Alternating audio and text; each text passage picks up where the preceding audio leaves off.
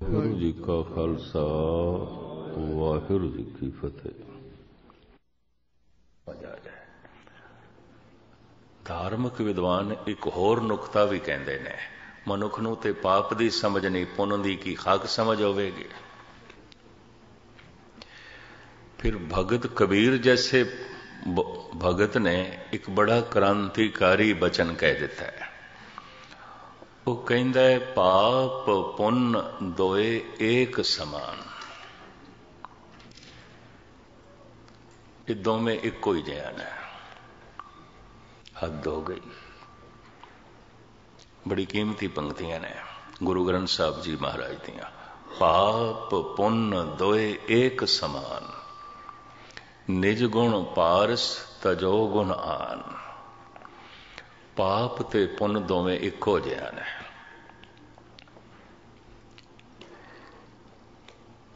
Nanak Singh novelist ਨੇ ਇੱਕ novel ਲਿਖਿਆ ਸੀ, ਪਵਿੱਤਰ ਪਾਪੀ, ਪੁਨੀਤ ਪਾਪੀ।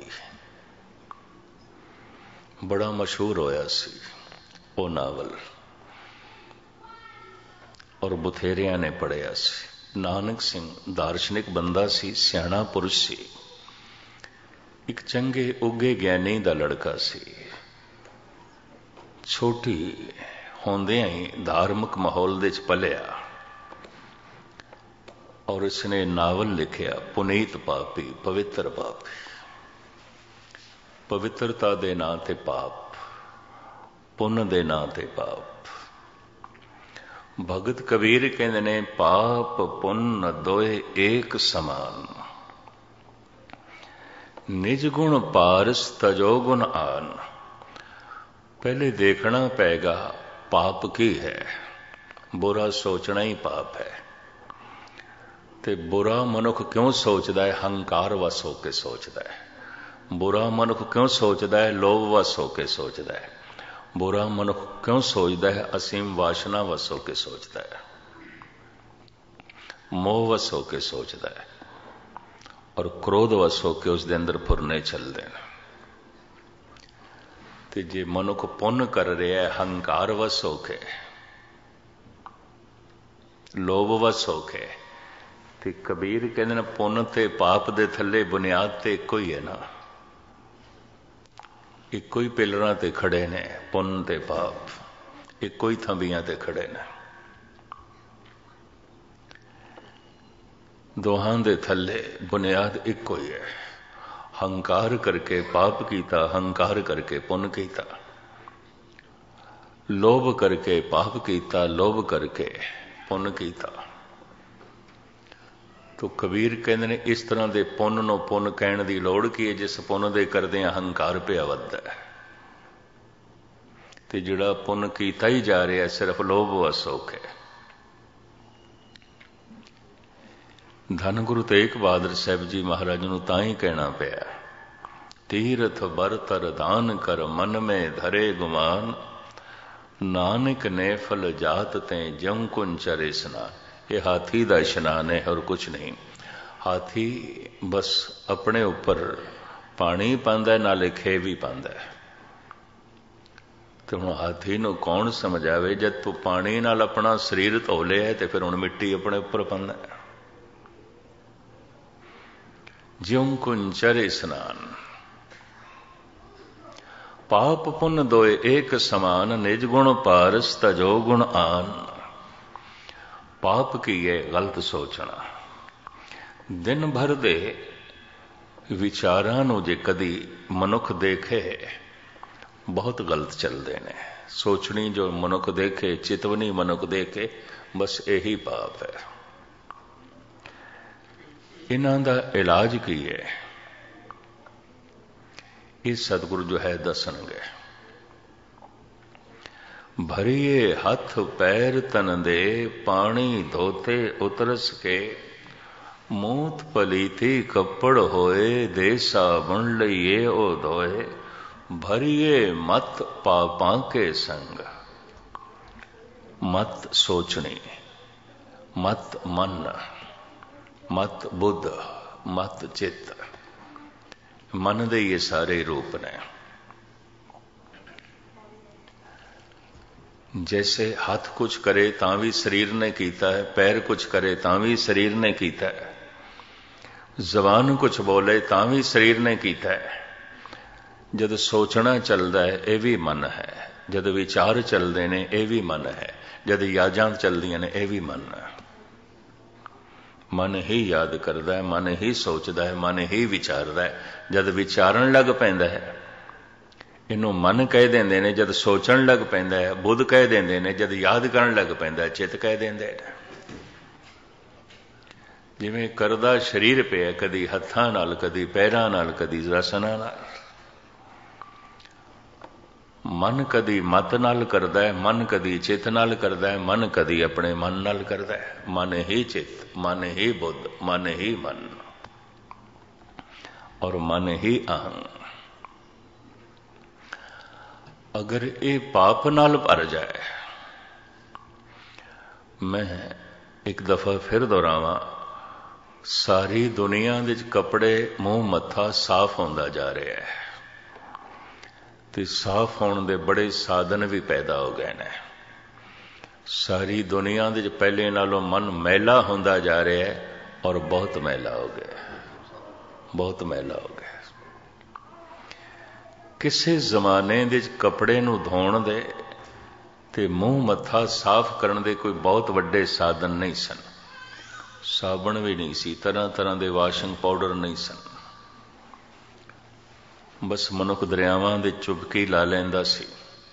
ਸਰੋਵਰਾਂ ਦੇ ਚ ਇਸ਼ਨਾਨ ਕਰ ਲੈਂਦਾ ਸੀ। ਤੇ ਵੱਧ ਤੋਂ ਵੱਧ ਚਿਕਣੀ ਮਿੱਟੀ ਨਾਲ ਕਿਧਰੇ ਕੇਸ ਧੋ ਲੈ ਲੈਂਦਾ ਸੀ, ਤਨ ਸਾਫ਼ ਕਰ ਲੈਂਦਾ ਸੀ। ਬਹੁਤੇ ਸਾਧਨ ਨਹੀਂ ਸਨ।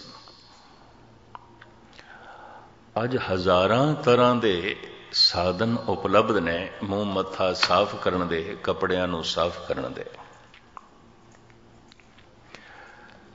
ਇਸ ਵਾਸਤੇ ਪਹਿਲੇ ਨਾਲੋਂ ਮੂੰਹ ਮੱਥਾ ਜ਼ਿਆਦਾ ਲਿਸ਼ਕ ਗਿਆ ਕਪੜੇ ਜ਼ਿਆਦਾ ਚਮਕ ਗਏ ਨੇ।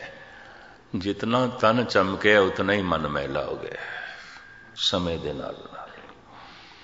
ਮਨੁੱਖ ਨੂੰ ਫੁਰਸਤ ਹੀ ਕੋਈ ਨਹੀਂ, ਮਨੁੱਖ ਕੋਲ ਸਮਾਂ ਹੀ ਕੋਈ ਨਹੀਂ ਆਪਣੇ ਮਨ ਨੂੰ ਦੇਖੇ। ਔਰ ਤਦੀ ਮੇਰੇ ਪਾਤਸ਼ਾਹ ਕਹਿੰਦੇ ਨੇ, ਇਹੋ ਮਨ ਆਰ ਸੀ, ਕੋਈ ਗੁਰਮੁਖ ਦੇਖੇ। ਅਗਰ ਕੋਈ ਮਨ ਨੂੰ ਵੇਖਣ ਲੱਗ ਪਵੇ ਤੇ ਗੁਰਮੁਖਤਾਈ ਸ਼ੁਰੂ ਹੋ ਗਈ। ਬਸ ਇੱਥੋਂ ਹੀ ਸ਼ੁਰੂ ਹੋ ਗਈ। ਰੋਜ਼ ਗੁਰਦੁਆਰੇ ਆ ਰਿਹਾ ਹੈ, ਠੀਕ ਹੈ, ਲੋਕਾਂ ਦੀ ਦ੍ਰਿਸ਼ਟੀ 'ਚ ਗੁਰਮੁਖ ਹੈ। ਪਰ ਗੁਰੂ ਦੀ ਦ੍ਰਿਸ਼ਟੀ ਤੇ ਉਦੋਂ ਹੀ ਗੁਰਮੁਖ ਹੋਵੇਗਾ ਜਦ ਆਪਣਾ ਮਨ ਵੇਖਣ ਲੱਗ ਪਿਆ ਵਰਨਾ ਨਹੀਂ ਹੈ। ਵਰਨਾ ਨਹੀਂ ਹੈ। ਤੇ ਲਫ਼ਜ਼ ਮੈਂ ਫਿਰ ਦੁਹਰਾ ਦਿਆਂ। ਧਾਰਮਿਕ ਲੋਕ ਅਨੁਭਵੀ ਜੋ ਕਹਿੰਦੇ ਨੇ, ਅਪਰਾਧੀ ਜੇਲਾਂ ਦੇ ਵਿੱਚ ਮਿਲਦੇ ਨੇ, ਪਾਪੀ ਮੰਦਰਾਂ 'ਚ ਮਿਲਦੇ ਨੇ। ਹੈਰਾਨਗੀ ਜਿੰਨੇ ਚਿਰ ਤੱਕ ਮਨੁੱਖ ਆਪਣਾ ਮਨ ਨਾ ਵੇਖੇ ਗੁਰਮੁਖਤਾਈ ਸ਼ੁਰੂ ਹੀ ਨਹੀਂ ਆਉਂਦੀ। ਤੇ ਮਨ ਵੇਖੇਗਾ ਤਾਂ ਮਨ ਦੀ ਮਹਿਲ ਦਿਖਾਈ ਦੇਗੀ। ਮਨ ਦਾ ਦੇਖਣਾ ਕੀ ਹੈ? ਆਪਣੇ ਵਿਚਾਰਾਂ ਨੂੰ ਦੇਖਣਾ। ਮੈਂ ਕੀ ਸੋਚਦਾ ਪਿਆ? ਮੈਂ ਕੀ ਯਾਦ ਕਰਦਾ ਦਿਨ ਭਰ? ਮੇਰੇ ਕੀ ਵਿਚਾਰ ਚੱਲਦੇ ਨੇ? ਇਸ ਨੂੰ ਦੇਖਣਾ। ਸਾਹਿਬ ਕਹਿੰਦੇ ਨੇ, ਕੋਈ ਗੁਰਮੁਖ ਦੇਖੇ। ਇਹੋ ਮਨ ਆਰ ਸੀ, ਕੋਈ ਗੁਰਮੁਖ ਦੇਖੇ। ਕਦੀ ਕਦਾਈ ਕੋਈ ਗੁਰਮੁਖ ਦੇਖਦਾ ਹੈ। ਔਰ ਜਿਸ ਦਿਨ ਦੇਖਦਾ ਹੈ, ਉਸ ਦਿਨ ਪਤਾ ਚੱਲਦਾ ਹੈ ਕਿ ਦੁਨੀਆ ਜੋ ਕੁਝ ਮੈਨੂੰ ਜਾਣਦੀ ਹੈ ਮੈਂ ਉਹ ਨਹੀਂ ਹਾਂ। ਤੇ ਮੈਂ ਵੀ ਆਪਣੇ ਆਪ ਨੂੰ ਜੋ ਕੁਝ ਸਮਝਦਾ, ਮੈਂ ਉਹ ਨਹੀਂ ਹਾਂ। ਉਹ ਦਿਨ ਮਨੁੱਖ ਦਾ ਫੈਸਲਾ ਆਪਣੇ ਬਾਰੇ ਕੁਝ ਹੋਰ ਹੋਵੇਗਾ। ਇਹ ਵੀ ਮੈਂ ਅਰਜ਼ ਕਰਾਂ, ਕਿਉਂਕਿ ਉਸੇ ਦਿਨ ਤੇ ਇਸ ਨੂੰ ਆਪਣਾ ਆਪ ਦਿਖਾਈ ਦਿੱਤਾ ਹੈ। ਕਿਸ ਦਿਨ? ਜਿਸ ਦਿਨ ਇਸ ਨੇ ਆਪਣਾ ਮਨ ਵੇਖਿਆ ਮੂੰਹ ਮੱਥਾ ਤੇ ਰੋਜ਼ ਸ਼ੀਸ਼ੇ 'ਚ ਵੇਖ ਲੈਂਦਾ ਹੈ। ਕੱਪੜੇ ਲੱਤੇ ਤੇ ਰੋਜ਼ ਸ਼ੀਸ਼ੇ 'ਚ ਵੇਖ ਲੈਂਦਾ ਇਹਦੇ ਨਾਲ ਕੀ ਹੈ? ਸਾਰੀ ਦੁਨੀਆ ਦੇਖ ਲੈਂਦੀ ਹੈ। ਮਨ ਖੁਦ ਇੱਕ ਸ਼ੀਸ਼ਾ ਹੈ ਤੇ ਇਸੇ ਸ਼ੀਸ਼ੇ ਵਿੱਚ ਮਨ ਦਿਖਾਈ ਦਿੰਦਾ ਹੈ। ਇਹੋ ਮਨ ਆਰ ਸੀ। ਆਰਸੀ ਸ਼ੀਸ਼ੇ ਨੂੰ ਕਹਿੰਦੇ ਨੇ, ਮਨ ਸਵੈਮ ਦਰਪਣ ਹੈ। ਤੇ ਮਨ ਦੇ ਦਰਪਣ ਦੇ ਚੋਂ ਮਨ ਨੂੰ ਵੇਖਣਾ, ਕੀ ਵੇਖਣਾ? ਆਪਣੇ ਵਿਚਾਰ ਵੇਖਣੇ, ਆਪਣੀ ਸੋਚਣੀ ਵੇਖਣੀ, ਆਪਣੀ ਚਿਤਵਨੀ ਵੇਖਣੀ। ਫਿਰ ਜੈਸੇ ਮਨੁੱਖ ਜਬ ਪੜੇਗਾ ਉਹਦਾ ਪੜਨਾ ਕੁਛ ਹੋਰ ਹੋਵੇਗਾ। ਹੁਣ ਸੋਚੇਗਾ, ਇਹ ਜਪਜੀ ਜਪ ਬਣੇ ਪੜਾਈ ਨਾ। ਪੜਨ ਦੇ ਤੇ ਜਪਣ ਦੇ ਵਿੱਚ ਕੀ ਫ਼ਰਕ ਹੈ? ਮੈਂ ਅਕਸਰ ਬਿਆਨ ਕੀਤਾ ਹੈ ਤੇ ਦੁਹਰਾ ਦਿਆਂ। ਇੱਕ ਹੈ ਬਾਣੀ ਪੜ੍ਹਨੀ, ਇਹਦਾ ਵੀ ਲਾਭ ਹੈ। ਇੱਕ ਹੈ ਬਾਣੀ ਜਪਣੀ। ਪੜਨ ਨਾਲੋਂ ਬਾਣੀ ਜਪਣੀ ਲੱਖਾਂ ਗੁਣਾ ਔਖੀ ਹੈ। ਮੈਂ ਹਜ਼ਾਰਾਂ ਗੁਣਾ ਸ਼ਬਦ ਨਹੀਂ ਵਰਤਿਆ। ਕਿਉਂਕਿ ਧਾਰਮਿਕ ਵਿਦਵਾਨ ਐਸਾ ਕਹਿੰਦੇ ਨੇ ਬਾਣੀ ਜਪਣੀ ਪੜਨ ਨਾਲੋਂ ਲੱਖਾਂ ਗੁਣਾ ਔਖੀ ਹੈ ਮੈਂ ਉਹਨਾਂ ਦੇ ਅਨੁਭਵ ਤੁਹਾਡੇ ਸਾਹਮਣੇ ਰੱਖ ਰਿਹਾ। ਪੜਨ ਲਈ ਧਿਆਨ ਬਾਹਰ ਕਰਨਾ ਪਏਗਾ। ਬਾਹਰ ਕਰਨਾ ਪਏਗਾ। ਗੁਟਕੇ ਤੇ, ਪੋਥੀ ਤੇ, ਸਤਿਗੁਰਾਂ ਦੇ ਸਰੂਪ ਤੇ ਧਿਆਨ ਬਾਹਰ ਕਰਨਾ ਪਏਗਾ। ਪੜਨ ਦਾ ਇਹ ਲਾਭ ਹੈ, ਪਤਾ ਚਲੇਗਾ। ਅਰਥ ਬੋਧ ਦਾ ਬਾਣੀ ਕੰਠ ਹੋ ਸਕਦੀ ਹੈ ਪੜਨ ਨਾਲ, ਬਾਰ-ਬਾਰ ਪੜਨ ਨਾਲ। ਪੜਦੇ ਆ, ਇਹ ਪਤਾ ਚਲੇਗਾ ਕਿਹੜੇ ਪਾਤਸ਼ਾਹ ਦੀ ਬਾਣੀ ਹੈ ਕਿਸ ਪਾਤਸ਼ਾਹ ਦੀ ਬਾਣੀ ਹੈ ਭਾਵੇਂ ਕੰਠ ਵੀ ਹੋ ਜਾਏ ਤੇ ਬਾਹਰੋਂ ਅਰਥ ਬਹੁਤ ਦਾ ਵੀ ਪਤਾ ਚੱਲ ਜਾਏ, ਮੈਂ ਫਿਰ ਅਰਜ਼ ਕਰਾਂ ਫਿਰ ਵੀ ਮਨ ਦੀ ਦੁਨੀਆ ਨਹੀਂ ਬਦਲੇਗੀ ਨਹੀਂ ਬਦਲੇਗੀ। ਪੜਦੇ ਆ, ਨਹੀਂ ਬਦਲਦੀ। ਸਾਰੀ ਜ਼ਿੰਦਗੀ ਪੜਦਾ ਰਹੇ ਪੜੀਏ ਜੇਤੇ ਬਰਸ ਬਰਸ ਪੜੀਏ ਜੇਤੇ ਮਾਸ ਪੜੀਏ ਜੇਤੀ ਆਰਜਾ ਪੜੀਏ ਜੇਤੇ ਸਾਸ जितने श्वास ने इतना ही पढ़े सारी जिंदगी पढ़े ਨਹੀਂ ਜ਼ਿੰਦਗੀ ਬਦਲਦੀ ਦੇਖਿਆ ਗਿਆ ਹੈ ਵੇਦਾਂ ਦਾ ਪਾਠ ਕਰ ਕਰਕੇ ਬ੍ਰਾਹਮਣ ਨਹੀਂ ਬਦਲੇ ਸਨ ਪੰਡਤ ਨਹੀਂ ਬਦਲੇ ਸਨ ਬਹੁਤੀ ਦੁਨੀਆ ਨਹੀਂ ਬਦਲੀ ਅੱਜ ਵੀ ਨਹੀਂ ਬਦਲੀ और 18 18 घंटे पाठ करने वाले अखंड पाठी भी मैं देखे ने कुछ भी नहीं है सोग भी है चिंता भी है परेशानी भी है बेचैनी भी है सारे पाप भी मौजूद ने ਤੇ 18 18 ਘੰਟੇ ਬਾਣੀ ਦਾ ਪਾਠ ਵੀ ਮੌਜੂਦ ਹੈ ਪੜਨ ਦਾ ਲਾਭ ਹੈ ਪੜਦਿਆਂ ਬਾਣੀ ਕੰਠ ਹੋ ਸਕਦੀ ਹੈ। ਬਾਣੀ ਦੇ ਕੁਝ ਅਰਥ ਬੋਧ ਦਾ ਪਤਾ ਚੱਲੇਗਾ। ਬਾਣੀ ਦਾ ਇਹ ਵੀ ਪਤਾ ਚੱਲੇਗਾ ਕਿਹੜੇ ਪਾਤਸ਼ਾਹ ਦੀ ਬਾਣੀ ਹੈ, ਕਿਹੜੇ ਭਗਤ ਦੀ ਬਾਣੀ ਹੈ, ਕਬੀਰ ਦੇ ਬੋਲਨੇ ਕਿ ਨਾਮਦੇਵ ਦੇ? ਰਾਮਾਨੰਦ ਦੇ ਬੋਲਨੇ ਕਿ ਪਰਮਾਨੰਦ ਦੇ? ਇਹ ਫਰੀਦ ਦਾ ਕਲਾਮ ਹੈ ਕਿ ਸਦਨੇ ਦਾ? ਇਹ ਪਹਿਲੇ ਪਾਤਸ਼ਾਹ ਦੇ ਬੋਲਨੇ ਕਿ ਦੂਜੇ ਦੇ? ਕਿ ਤੀਜੇ ਦੇ ਕਿ ਪੰਜਵੇਂ ਦੇ। ਇਹ ਤੇ ਪਤਾ ਚੱਲ ਜਾਏਗਾ। ਮਨ ਨਹੀਂ ਬਦਲੇਗਾ, ਮਨੁੱਖ ਨਹੀਂ ਬਦਲੇਗਾ ਪੜਨ ਨਾਲ ਨਹੀਂ ਬਦਲੇਗਾ। ਬਦਲੇਗਾ ਜਪਣ ਨਾਲ। ਇਸ ਵਾਸਤੇ ਗੁਰਬਾਣੀ ਸਾਨੂੰ ਪ੍ਰੇਰਦੀ ਹੈ ਪੜੋ ਫਿਰ ਜਪੋ। ਗਾਵੋ ਪੜੋ ਸੁਣੋ ਨਿਤ ਭਾਈ ਗੁਰੂ ਪੂਰੇ ਤੋਂ ਰਾਖਿਆ। ਫਿਰ ਜਪ ਮਨ ਮੇਰੇ ਗੋਬਿੰਦ ਕੀ ਬਾਣੀ? ਸਾਧੂ ਜਨ ਰਾਮ ਰਸਨ ਵਖਾਣੀ। ਤੋਂ ਫਿਰ ਇੱਕ ਪ੍ਰਸ਼ਨ ਖੜਾ ਹੋਵੇਗਾ, ਪੜਨ ਤੇ ਜਪਣਾ ਕੀ ਫ਼ਰਕ ਹੈ? ਪੜਨ ਲੱਗਿਆਂ ਧਿਆਨ ਬਾਹਰ ਕਰਨਾ ਪਏਗਾ। ਜਪਣ ਲੱਗਿਆਂ ਧਿਆਨ ਅੰਤਰਮੁਖ। ਬਸ ਇਤਨਾ ਫ਼ਰਕ ਹੈ। ਪੜਨ ਲੱਗਿਆਂ ਧਿਆਨ ਵੀ ਬਾਣੀ, ਹੈ ਧਿਆਨ ਵੀ ਬਾਹਰ ਰਹਿ ਗਿਆ, ਬਾਣੀ ਵੀ ਬਾਹਰ ਹੈ। ਜਪਣ ਲੱਗਿਆ ਚੁੰਕੇ ਧਿਆਨ ਅੰਦਰ ਹੈ ਤਾਂ ਹੁਣ ਬਾਣੀ ਵੀ ਅੰਦਰ ਜਾਏਗੀ। ਬਦਲ ਕੇ ਰੱਖ ਦੇਗੀ। ਸਾਰੀ ਬਾਣੀ ਦੀ ਤੇ ਗੱਲ ਇੱਕ ਪਾਸੇ, ਕਿਨ ਕਾ ਏਕ ਜਿਸ ਜੀ ਬਸਾਵੇ ਤਾਂ ਕਿ ਮਹਿਮਾ ਗਨੇ ਨਾ ਆਵੇ। ਜਪਦਿਆਂ ਤੇ ਬਦਲ ਜਾਏਗਾ। ਇੱਕ ਪੰਕਤੀ ਨੇ ਬਦਲ ਕੇ ਰੱਖ ਦੇਣਾ ਹੈ। ਇਸ ਵਾਸਤੇ ਬੜਾ ਕੀਮਤੀ ਬੋਲ ਹੈ ਧੰਨ ਗੁਰੂ ਨਾਨਕ ਦੇਵ ਜੀ ਮਹਾਰਾਜ ਦਾ। ਪੜਿਆ ਹੋਵੇ ਗੁਨਾਹਗਾਰ ਤਾਂ ਓਵੇਂ ਸਾਧ ਨਾ ਮਾਰੀਏ। ਬਹੁਤ ਵੱਡੇ ਵੱਡੇ ਗੁਨਾਹ ਅਨਪੜ ਲੋਕ ਨਹੀਂ ਕਰ ਸਕਦੇ। ਐਟਮ ਬੰਮ ਅਨਪੜ ਬੰਦਾ ਬਣਾ ਸਕਦਾ ਹੈ। ਕੋਈ ਅਨਪੜ ਮਨੁੱਖ ਇੱਕ ਮਿੰਟ ਦੇ ਚ ਨਾਗਾਸਾਕੀ ਤੇ ਹੀਰੋਸ਼ੀਮਾ ਨੂੰ ਤਬਾਹ ਕਰ ਸਕਦਾ ਹੈ। ਕੋਈ ਪੜਾ ਲਿਖਾ ਹੀ ਕਰ ਸਕਦਾ ਹੈ। ਅਨਪੜ ਮਨੁੱਖ 2.5 ਕਰੋੜ ਬੰਦਿਆਂ ਨੂੰ ਨਹੀਂ ਮਾਰ ਸਕਦਾ। ਹਿਟਲਰ ਨੇ 2.5 ਕਰੋੜ ਬੰਦੇ ਮਾਰਨ ਪੜਾ ਲਿਖਾ ਮਨੁੱਖ ਸੀ। ਅਨਪੜ ਮਨੁੱਖ 3 ਕਰੋੜ ਨੂੰ ਉਜਾੜ ਨਹੀਂ ਸਕਦਾ ਤੇ 3 ਕਰੋੜ ਨੂੰ ਕਰੋੜ ਨੂੰ ਮਾਰ ਨਹੀਂ ਸਕਦਾ। ਮੌਸੇ ਤੋਂ 3 ਕਰੋੜ ਬੰਦਿਆਂ ਨੂੰ ਮਾਰ ਕੇ ਤੇ 3 ਕਰੋੜ ਨੂੰ ਉਜਾੜ ਕੇ ਚਾਈਨਾ ਦੇ ਵਿੱਚ ਕ੍ਰਾਂਤੀ ਲਿਆਂਦਾ ਬੜਾ ਪੜਾ ਲਿਖਾ ਬੰਦਾ, ਸੂਝਵਾਨ ਬੰਦਾ। ਅਨਪੜ ਮਨੁੱਖ ਪਾਪ ਕਰ ਸਕਦਾ ਹੈ, ਛੋਟੇ ਛੋਟੇ। ਵੱਡੇ ਨਹੀਂ ਕਰ ਸਕਦਾ। ਵਿਆਪਕ ਪੱਧਰ ਤੇ ਨਹੀਂ ਕਰ ਸਕਦਾ। ਵਿਆਪਕ ਪੱਧਰ ਤੇ ਪਾਪ ਕਰਨ ਲੱਗੇ ਬਹੁਤ ਵੱਡੀ ਪੜ੍ਹਾਈ ਲਿਖਾਈ ਚਾਹੀਦੀ ਹੈ। ਇਹ ਵੀ ਮੈਂ ਅਰਜ਼ ਕਰਦੇ ਹਾਂ। ਫਿਰ ਪੜ੍ਹ ਲਿਖ ਕੇ ਮਨੁੱਖ ਪੁਨੀਤ ਹੋਵੇ, ਹੈ ਅਚਰਜਤਾ ਵਾਲੀ ਗੱਲ। ਇਹ ਵੀ ਮੈਂ ਅਰਜ਼ ਕਰਦੇ ਹਾਂ। ਤਾਂ ਹੀ ਧੰਨ ਗੁਰੂ ਨਾਨਕ ਦੇਵ ਜੀ ਮਹਾਰਾਜ ਨੂੰ ਇਹ ਵੀ ਕਹਿਣਾ ਪਿਆ ਪੜਿਆ, ਮੂਰਖ ਆਖੀਏ ਜਿਦ ਲੱਭ ਲੋਭ ਹੰਕਾਰ। ਬਹੁਤੀ ਪੜਾਈ ਲਿਖਾਈ ਨਾਲ ਕਈ ਦਫਾ ਹੰਕਾਰ ਵੱਧ ਜਾਂਦਾ ਹੈ। ਲੋਭ ਵੱਧ ਜਾਂਦਾ ਹੈ, ਵਾਸ਼ਨਾ ਵੱਧ ਜਾਂਦੀ ਹੈ। ਇੱਕ ਅਨਪੜ੍ਹ ਮਨੁੱਖ ਦੇ ਕੋਲ ਇਤਨਾ ਹੰਕਾਰ ਨਹੀਂ ਆਉਂਦਾ। ਕਿਉਂਕਿ ਇਹਦੀ ਸੋਚਣੀ, ਸਮਝਣੀ ਵੀ ਸੀਮਤ ਹੈ, ਹੰਕਾਰ ਵੀ ਸੀਮਤ ਹੈ, ਲੋਭ ਵੀ ਸੀਮਤ ਹੈ। ਪੜ੍ਹ लिख के जानकारी असीम हो गई तो लोभ ਵੀ ਅਸੀਮ ਹੋ ਗਿਆ, ਹੰਕਾਰ ਵੀ ਅਸੀਮ ਹੋ ਗਿਆ। ਆਮ ਲੋਕ ਤੇ ਇਹ ਆਖਣਗੇ ਪੜਾ ਲਿਖਾ ਬੰਦਾ ਤੇ ਬੜਾ ਭਲੇ ਮਾਨਸ ਹੁੰਦਾ ਹੈ, ਗੁਰੂ ਨਾਨਕ ਇਸ ਤਰ੍ਹਾਂ ਨਹੀਂ ਕਹਿੰਦੇ। ਪੜਾਈ ਲਿਖਾਈ ਦਾ ਲਾਭ ਹੈ, ਸੰਸਾਰ ਦੀ ਸਮਝ ਪੈ ਜਾਂਦੀ ਹੈ, ਸੰਸਾਰ ਦੇ ਥੋੜਾ ਜਿਹਾ ਵਿਚਰਨ ਦਾ ਢੰਗ ਆ ਜਾਂਦਾ, ਜ਼ਿੰਦਗੀ ਨਹੀਂ ਬਦਲਦੀ। ਪੜਿਆ ਹੋਵੇ ਗੁਨਾਹਗਾਰ ਤਾਂ ਓਮੀ ਸਾਧ ਨਾ ਮਾਰੀਏ। ਬਨਾਰਸ ਦੇ ਜਿਹੜਾ ਸੰਸਕ੍ਰਿਤ ਪੜਿਆ ਹੋਇਆ ਪੰਡਤ ਹੋਵੇ, ਉਹਨੂੰ ਚਤੁਰਵੇਦੀ, ਦੁਵੇਦੀ, ਤ੍ਰਿਵੇਦੀ ਖੜ ਸ਼ਾਸਤਰੀ ਕਰਕੇ ਕਹਿੰਦੇ ਨੇ ਪੜਾ ਲਿਖਾ ਹੈ। ਤੇ ਜਿਹੜਾ ਅਨਪੜ ਹੋਵੇ, ਉਹਨੂੰ ਕਹਿੰਦੇ ਨੇ ਓਮ ਹੀ। ਬਸ ਇਹ ਓਮ ਓਮ ਜਪਦਾ ਹੋਰ ਕੁਝ ਵੀ ਨਹੀਂ।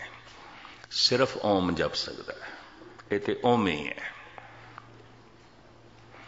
ਹੁਣ ਗੁਰੂ ਨਾਨਕ ਦੇਵ ਜੀ ਮਹਾਰਾਜ ਕਹਿੰਦੇ ਨੇ ਪੜਿਆ ਹੋਵੇ ਗੁਨਾਹਗਾਰ, ਤਾਂ ਓਮੀ ਸਾਧਨਾ ਮਾਰੀਏ ਉਹ ਜੋ ਓਮ ਦੀ ਸਾਧਨਾ ਕਰ ਰਿਹਾ, ਸਿਰਫ ਓਮ ਜਪਦਾ ਪਿਆ। ਓਮ ਓਮ, ਸਿਰਫ ਹਰੀ ਓਮ ਜਪਦਾ ਪਿਆ।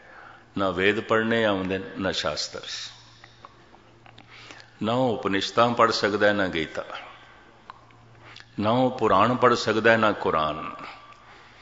ਸਿਰਫ ਇੱਕ ਨਾਮ ਦੁਹਰਾਉਂਦਾ ਹੈ। ਹਰੀ ਓਮ ਹਰੀ ਓਮ ਦਾ ਉਚਾਰਨ ਕਰਦਾ ਹੈ। ਮਹਾਰਾਜ ਕਹਿੰਦੇ ਇਸ ਨੂੰ ਮਾਰ ਨਹੀਂ ਪਏਗੀ। ਇਹਦਾ ਹਿਰਦਾ ਓਮ ਦਾ ਰੂਪ ਬਣ ਜਾਏਗਾ, ਪ੍ਰਮਾਤਮਾ ਦਾ ਰੂਪ ਹੋ ਜਾਏਗਾ। ਕਿਉਂਕਿ ਓਮ ਜਪ ਰਿਹਾ ਹੈ। ਬਹੁਤ ਸਾਰੀ ਬਾਣੀ ਪੜਨ ਦਾ ਵੀ ਮਤਲਬ ਇੰਨਾ ਹੈ। ਕਿਸੇ ਦਿਨ ਜਪਣੀ ਆ ਜਾਏ। ਜਪਣ ਵਾਸਤੇ ਧਿਆਨ ਅੰਤਰਮੁਖੀ ਕਰਨਾ ਪੈਂਦਾ ਹੈ। ਪੜਨ ਵਾਸਤੇ ਧਿਆਨ ਬਾਹਰ ਕਰਨਾ ਪੈਂਦਾ ਹੈ। तो ध्यान भी बाहर रह गया बाणी भी बाहर है कुछ जिंदगी बदलेगी नहीं नहीं बदलेगी सारी जिंदगी पढ़ता रहे पढ़िए जेते बरस बरस पढ़िए जेते मास पढ़िए जेती आर जा पढ़िए जेते सास और मैं देखे न सारी जिंदगी हो गई है पढ़दे बथेरिया की ਪੜਨ ਨਾਲ ਜੀਵਨ ਬਦਲਦਾ ਨਹੀਂ, ਕੁਝ ਸਮਝ ਪੈਂਦੀ ਹੈ ਥੋੜੀ ਜਿਹੀ ਅਰਥ ਬਹੁਤ ਦਾ ਪਤਾ ਚੱਲਦਾ ਹੈ। ਬਾਣੀ ਕੰਠ ਹੋ ਸਕਦੀ ਹੈ, ਬਾਰ-ਬਾਰ ਪੜਦੇ ਆਂ ਕੰਠ ਹੋ ਸਕਦੀ ਹੈ। ਚੇਤੇ ਚ ਆ ਸਕਦੀ ਹੈ। ਪਤਾ ਚੱਲ ਸਕਦਾ ਹੈ, ਪਹਿਲੇ ਪਾਤਸ਼ਾਹ ਜੀ ਦੇ ਬੋਲ ਨੇ, ਦੂਜੇ ਦੇ ਨੇ, ਤੀਜੇ ਦੇ ਨੇ, ਕਿਹੜੇ ਰਾਗ ਦੇ ਨੇ, ਇਤਨਾ ਪਤਾ ਚੱਲ ਸਕਦਾ ਹੈ। ਜ਼ਿੰਦਗੀ ਨਹੀਂ ਬਦਲੇਗੀ, ਕਤਈ ਨਹੀਂ ਬਦਲੇਗੀ। ਜੀਵਨ ਉਦੋਂ ਬਦਲੇਗਾ ਜਪਦਿਆਂ। ਜਪ ਮਨ ਮੇਰੇ, ਗੋਬਿੰਦ ਕੀ ਬਾਣੀ? ਜਪਣ ਲੱਗਿਆਂ ਧਿਆਨ ਅੰਤਰਮੁਖੀ ਕਰਨਾ ਪਏਗਾ। ਭਾਵ ਉਸ ਬਾਣੀ ਵਿੱਚ ਸੁਰਤ ਜੋੜਨੀ ਪਏਗੀ, ਧਿਆਨ ਜੋੜਨਾ ਪਏਗਾ। ਤੇ ਮੈਂ ਪਹਿਲੇ ਵੀ ਅਰਜ਼ ਕੀਤੀ ਹੈ ਦੁਹਰਾ ਦਿਆਂ ਸੁਰਤ ਦੇ ਤਿੰਨ ਅਰਥ ਨੇ, ਸੁਰਤ ਸੁਣਨਾ, ਸੁਰਤ ਸਮਝਣਾ, ਸੁਰਤ ਜੁੜਨਾ। ਇਹ ਤੇ ਸਰੋਤਾ ਹੈ ਸਰਵਨ ਤੋਂ, ਕੰਨਾਂ ਤੋਂ ਇਸ ਸ਼ਬਦ ਦਾ ਜਨਮ ਹੋਇਆ ਸਰੋਤਾ ਹੈ, ਇਹ ਤੇ ਸੁਰਤ ਦੇ ਚ ਹੈ। ਇਹ ਤੇ ਬੜੀ ਗਹਿਰਾਈ ਨਾਲ ਸੁਣ ਰਿਹਾ ਹੈ। ਇਹ ਤੇ ਸੁਰਤ ਦੇ ਚ ਹੈ।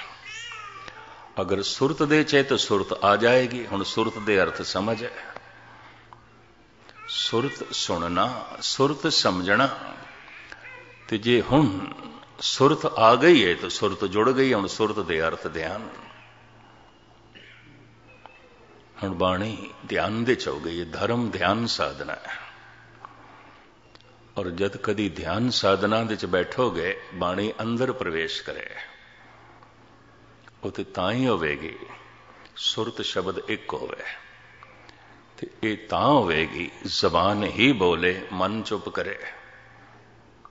ਮਨ ਮੌਨ ਧਾਰਨ ਕਰੇ। ਮਨ ਸਿਰਫ ਸੁਣੇ, ਨਾ ਇਹਦੇ 'ਚ ਕੋਈ ਹੋਰ ਸੋਚਣੀ ਚਲੇ ਨਾ ਇਹਦੇ 'ਚ ਕੋਈ ਹੋਰ ਵਿਚਾਰ ਚੱਲਣ ਨਾ ਇਹਦੇ 'ਚ ਕੁਝ ਹੋਰ ਚਿਤਵਨੀ ਚਲੇ ਇਹ ਸਿਰਫ ਸੁਣੇ ਕਰਨ ਬੈਠਣਾ ਤੁਸੀਂ ਔਖਾ ਹੈ ਕੰਮ ਔਖਾ ਹੈ ਅਗਰ ਇਤਨੀ ਸਮਝ ਆ ਗਈ तो धर्म ਦੀ ਬੁਨਿਆਦੀ ਸਮਝ ਪਹਿਲੇ ਆ ਗਈ ਆ ਗਈ ਨਹੀਂ ਤੇ ਅਜੇ ਧਰਮ ਦੀ ਜਿਹੜੀ ਮੂਲ ਸਮਝ ਹੈ ਉਹ ਵੀ ਨਹੀਂ ਅਜੇ ਸਿਰਫ ਕਰਮ ਕਾਂਡ ਚੱਲਦਾ ਪਿਆ ਸਰੀਰ ਦੇ ਤਲ ਤੇ ਤੇ ਕਰਮ ਕਾਂਡ ਨੂੰ ਪਤਾ ਕੀ ਆਖਿਆ? ਭਗਤਾਂ ਨੇ, ਭਗਤ ਨਾਮਦੇਵ ਜੀ ਮਹਾਰਾਜ ਨੇ। ਉਹ ਕਹਿੰਦੇ ਨੇ, ਫਲ ਕਾਰਨ ਫੂਲੀ ਬਨ ਰਾਏ। ਫਲ ਪਾਕਾ ਤਬ ਫੂਲ ਬਿਲਾਏ। ਗਿਆਨੇ ਕਾਰਨ ਕਰਮ ਅਭਿਆਸ। ਗਿਆਨ ਭਇਆ ਤਬ ਕਰਮੇ ਨਾਸ। ਫੁੱਲ ਖਿੜੇ ਨੇ। ਇਸ ਵਾਸਤੇ ਕਿ ਫਲ ਨਿਕਲਣ। ਤੇ ਪ੍ਰਕਿਰਤੀ ਦਾ ਨਿਯਮ, ਜਿਤਨੀ ਮਿਕਦਾਰ ਦੇ ਚ ਫਲ ਨਿਕਲਦਾ ਹੈ, ਫੁੱਲ ਝੜਦਾ ਹੈ। ਜਿਤਨੀ ਵੀ ਮਿਕਦਾਰ ਦੇ ਚ ਮਨੁੱਖ ਦਾ ਅਨੁਭਵ ਵਧੇਗਾ, ਇਹ ਕਰਮ ਕਾਂਡ ਚੜੇਗਾ ਸ਼ਰਾ ਚੜੇਗੀ ਇਸ ਵਾਸਤੇ ਅਨੁਭਵੀ ਮਨੁੱਖ ਕਟਰ ਨਹੀਂ ਹੋਵੇਗਾ। ਅਨੁਭਵੀ ਮਨੁੱਖ ਕੋਈ ਸ਼ਰਾ ਵਿੱਚ ਤੇ ਕਟਰਪਣੇ 'ਚ ਫਸਿਆ ਹੋਇਆ ਨਹੀਂ ਹੋਵੇਗਾ। ਅਗਰ ਪੂਰਨ ਅਨੁਭਵ ਪ੍ਰਕਾਸ਼ ਹੋ ਗਿਆ, ਕਰਮ ਕਾਂਡ ਸਾਰਾ ਝੜ ਜਾਏਗਾ, ਜਿਵੇਂ ਤੰਦਰੁਸਤ ਹੁੰਦਿਆਂ ਮਨੁੱਖ ਦਵਾਈਆਂ ਪਰੋਂ ਸੁੱਟ ਦਿੰਦਾ ਹੈ। ਅਗਰ ਦਵਾਈਆਂ ਅਜੇ ਖਾ ਰਿਹਾ ਹੈ, ਰੋਗ ਗਿਆ ਨਹੀਂ ਨਹੀਂ ਗਿਆ। ਕਰਮ ਕਾਂਡ ਚੱਲ ਰਿਹਾ ਹੈ, ਅਜੇ ਅਨੁਭਵ ਪ੍ਰਕਾਸ਼ ਨਹੀਂ ਹੈ। ਇੱਥੋਂ ਇਸ ਤਰ੍ਹਾਂ ਸਮਝਣਾ ਚਾਹੀਦਾ ਕਿਉਂ ਫਲ ਜੈਸੇ ਨਿਕਲਦਾ ਹੈ ਫੁੱਲ ਝੜਦਾ ਹੈ ਔਰ ਫਲ ਪੂਰਾ ਨਿਕਲ ਆਇਆ ਹੈ ਫੁੱਲ ਪੂਰਾ ਖਤਮ ਹੋ ਗਿਆ ਅਨੁਭਵ ਪ੍ਰਕਾਸ਼ ਪੂਰਾ ਹੋ ਗਿਆ ਇਹ ਮਨੁੱਖ ਹੁਣ ਕਰਮ ਕਾਂਡੀ ਨਹੀਂ ਹੈ ਅਗਰ ਕਿਸੇ ਵਕਤ ਇਹ ਕਰਮ ਕਰਦਾ ਵੀ ਹੈ ਸਰੀਰ ਦੇ ਤਲ ਤੇ ਸਿਰਫ ਇਸ ਵਾਸਤੇ ਲੋਕੀ ਬਾਕੀ ਕਰਨ ਦੇਖ ਕੇ ਲੋਕੀ ਵੀ ਚੱਲ ਪੈਣ ਪਰਉਪਕਾਰ ਦੀ ਖਾਤਰ ਕਰਦਾ ਹੈ, ਵਰਨਾ ਕਰਮ ਕਾਂਡੀ ਨਹੀਂ ਆਉਂਦਾ। ਉਹ ਤੇ ਸਰੀਰ ਤੋਂ ਉੱਚਾ ਉੱਠ ਗਿਆ ਹੈ। ਉਦੋਂ ਸਭ ਕੁਝ ਇਸ ਨੂੰ ਫਿਜ਼ੂਲ ਸਮਝਦਾ ਹੈ। ਸ਼ਰਾ ਉਸ ਲਈ ਫਿਜ਼ੂਲ ਹੋ ਜਾਏਗੀ। ਔਰ ਮੈਂ ਅਰਜ਼ ਕਰਾਂ, ਅਗਰ ਸ਼ਰਾ ਚ ਹੀ ਰੁਕ ਗਿਆ ਕਰਮ ਕਾਂਡ ਦੇ ਚ ਰੁਕ ਗਿਆ ਤੇ ਕਦੀ ਖਿਆਲ ਵੀ ਨਾ ਆਵੇ ਕਿ ਅੱਗੇ ਵੀ ਕੋਈ ਦੁਨੀਆ ਹੈ। ਤੇ ਇਸ ਨੂੰ ਹੀ ਸਭ ਕੁਝ ਮਹਾਨ ਸਮਝ ਲਵੇ, ਕਠੋਰ ਵੀ ਹੋ ਜਾਏਗਾ, ਜ਼ਾਲਮ ਵੀ ਹੋ ਜਾਏਗਾ, ਦੁਸ਼ਟ ਵੀ ਹੋ ਜਾਏਗਾ, ਇਹ ਧਾਰਮਿਕ ਪਾਪੀ ਹੋਵੇਗਾ। ਬਸ ਇਤਨਾ ਮੈਂ ਅਰਜ਼ ਕਰਦੇ ਹਾਂ। ਇਹ ਧਾਰਮਿਕ ਪਾਪੀ ਹੋਵੇਗਾ। ਮੈਂ ਇਸ ਦੇ ਤੇ ਕਈ ਉਦਾਹਰਣ ਦਿੱਤੇ ਨੇ। ਸੂਬਾ ਸਰਹੰਦ ਦੀ ਕਚਹਿਰੀ ਜਦ ਮਾਸੂਮ ਲਾਡਲਿਆਂ ਨੂੰ ਪੇਸ਼ ਕੀਤਾ ਗਿਆ ਧੰਨ ਗੁਰੂ ਗੋਬਿੰਦ ਸਿੰਘ ਜੀ ਮਹਾਰਾਜ ਦੇ। ਤੇ ਦੇਖਦਿਆਂ ਸਾਰ ਵਜੀਦ ਖਾਨ ਦੀ ਜ਼ਬਾਨ ਚੋਂ ਬੋਲ ਨਿਕਲੇ, ਇਹ ਮਾਸੂਮ ਅਸਤ ਇਹ ਤੇ ਬਹੁਤ ਛੋਟੇ ਨੇ ਐਨੇ ਛੋਟੇ ਇਹਦਾ ਮਤਲਬ ਹੈ ਉਹਨੂੰ ਮੁਗਾਲਤੇ 'ਚ ਰੱਖਿਆ ਗਿਆ ਸੀ, ਕਿਧਰੇ ਵੱਡੇ ਹੋਣਗੇ, ਜਵਾਨ ਹੋਣਗੇ। ਪਕੜ ਕੇ ਲੈਂਦੇ ਨੇ। ਦੇਖੇ ਤੇ ਉਸਨੇ ਹੋਣਾ। ਕਹਿੰਦਾ, ਇਹ ਮਾਸੂਮ ਅਸਤ ਦੀਵਾਨ ਸੁੱਚਾ ਸੁਚਾਨੰਦ ਬੈਠਾ ਹੈ ਸਾਹਮਣੇ, ਤਿਲਕ ਲਾਇਆ ਹੈ, ਜਨੇਊ ਪਹਿਨਿਆ ਦੋ ਵਕਤ ਗੀਤਾ ਦਾ ਪਾਠ ਕਰਦਾ ਹੈ। ਪੱਕਾ ਕਰਮ ਕਾਂਡੀ। ਇਕਾਦਸ਼ੀ ਦਾ ਵਰਤ ਰੱਖਦਾ ਹੈ, ਪੁੰਨਿਆਂ ਦਾ ਵਰਤ ਰੱਖਦਾ ਹੈ। ਕੁਝ ਤੀਰਥਾਂ ਤੇ ਇਸ਼ਨਾਨ ਵੀ ਕਰ ਆਇਆ ਹੈ। ਪੱਕਾ ਕਰਮ ਕਾਂਡੀ। ਜਦ ਨਵਾਬ ਕਹਿੰਦਾ ਈ ਮਾਸੂਮ ਅਸਤ ਦੀਵਾਨ ਸੁਚਾਨੰਦ ਕਹਿੰਦੇ, ਈ ਮਾਸੂਮ ਨੇਸਤ, ਈ ਫਰਜ਼ੰਦੇ ਮਾਰਸਤ। ਇਹ ਮਾਸੂਮ ਨਹੀਂ ਨੇ, ਇਹ ਸੱਪ ਦੇ ਬੱਚੇ ਨੇ। ਹੱਦ ਹੋ ਗਈ, ਤੂੰ ਦੋ ਵਕਤ ਗੀਤਾਂ ਦਾ ਪਾਠ ਕਰਦਾ ਹੈ। ਮੱਥੇ ਤੇ ਤਿਲਕ ਲਾਇਆ ਹੋਇਆ ਹੈ। ਜਨਉ ਪਹਿਨੇ ਆਇਆ ਹੈ।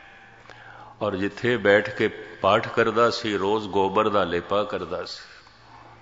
ਕਰਮ ਕਾਂਡੀ ਪੱਕਾ। ਇਕਾਦਸ਼ੀ ਦਾ ਵਰਤ ਰੱਖਦਾ ਹੈ, ਪੁੰਨਿਆਂ ਦਾ ਵਰਤ ਰੱਖਦਾ ਹੈ। ਦੋ ਵਕਤ ਇਸ਼ਨਾਨ ਕਰਦਾ ਹੈ, ਦੋ ਵਕਤ ਸੰਧਿਆ ਕਰਦਾ ਹੈ, ਪੂਜਾ ਪਾਠ ਪੂਰਾ ਕਰਦਾ ਹੈ। ਪਰ ਕਰਮ ਕਾਂਡ ਵਿੱਚ ਹੀ ਰੁਕ ਗਿਆ ਤੇ ਕਰਮ ਕਾਂਡ ਕੀ ਜਿਤਨੇ ਚਿਰ ਤੱਕ ਮੇਰਾ ਧਿਆਨ ਬਾਹਰ ਹੈ, ਇਹ ਸਭ ਕਰਮ ਕਾਂਡ ਹੈ। ਸਭ ਕੁਝ ਕਰਮ ਕਾਂਡ ਹੋਵੇਗਾ।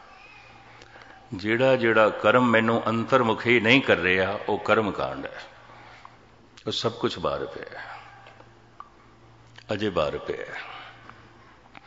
ਇਤਨਾ ਕਠੋਰ ਹੋ ਗਿਆ ਇਹਨਾਂ ਮਾਸੂਮ ਬੱਚਿਆਂ ਨੂੰ ਦੇਖ ਕੇ ਕਹਿੰਦਾ ਹੀ ਫਰਜ਼ੰਦੇ ਮਾਰਸਤ ਇਸ ਸੱਪ ਦੇ ਬੱਚੇ ਨੇ, ਫਰਜ਼ੰਦ ਬੱਚਿਆਂ ਨੂੰ ਕਹਿੰਦੇ ਨੇ, ਮਾਰ ਸੱਪ ਨੂੰ ਕਹਿੰਦੇ ਨੇ, ਸੱਪ ਦੇ ਬੱਚੇ ਨੇ।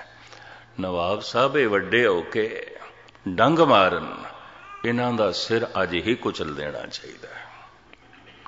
ਹੈਰਾਨਗੀ, ਇੱਕ ਧਾਰਮਿਕ ਬੰਦੇ ਦਾ ਫੈਸਲਾ। ਇੱਕ ਧਾਰਮਿਕ ਮਨੁੱਖ ਕਹਿ ਰਿਹਾ ਹੈ। ਪਰ ਧਾਰਮਿਕ ਕਿਹੜਾ ਹੈ? ਕਰਮ ਕਾਂਡੀ ਇਸ ਤਰ੍ਹਾਂ ਦੇ ਕਰਮ ਕਾਂਡੀ ਕਠੋਰ ਤੁਹਾਨੂੰ ਹਰ ਕੌਮ ਦੇ ਵਿੱਚ ਮਿਲਣਗੇ, ਹਿੰਦੂਆਂ 'ਚ ਮਿਲਣਗੇ, ਸਿੱਖਾਂ 'ਚ ਮਿਲਣਗੇ, ਮੁਸਲਮਾਨਾਂ 'ਚ ਮਿਲਣਗੇ, ਈਸਾਈਆਂ 'ਚ ਮਿਲਣਗੇ। ਉਂਝ ਕਰਮ ਕਾਂਡ ਤੇ ਬੜਾ ਪਰ ਪੱਕੇ ਕਠੋਰ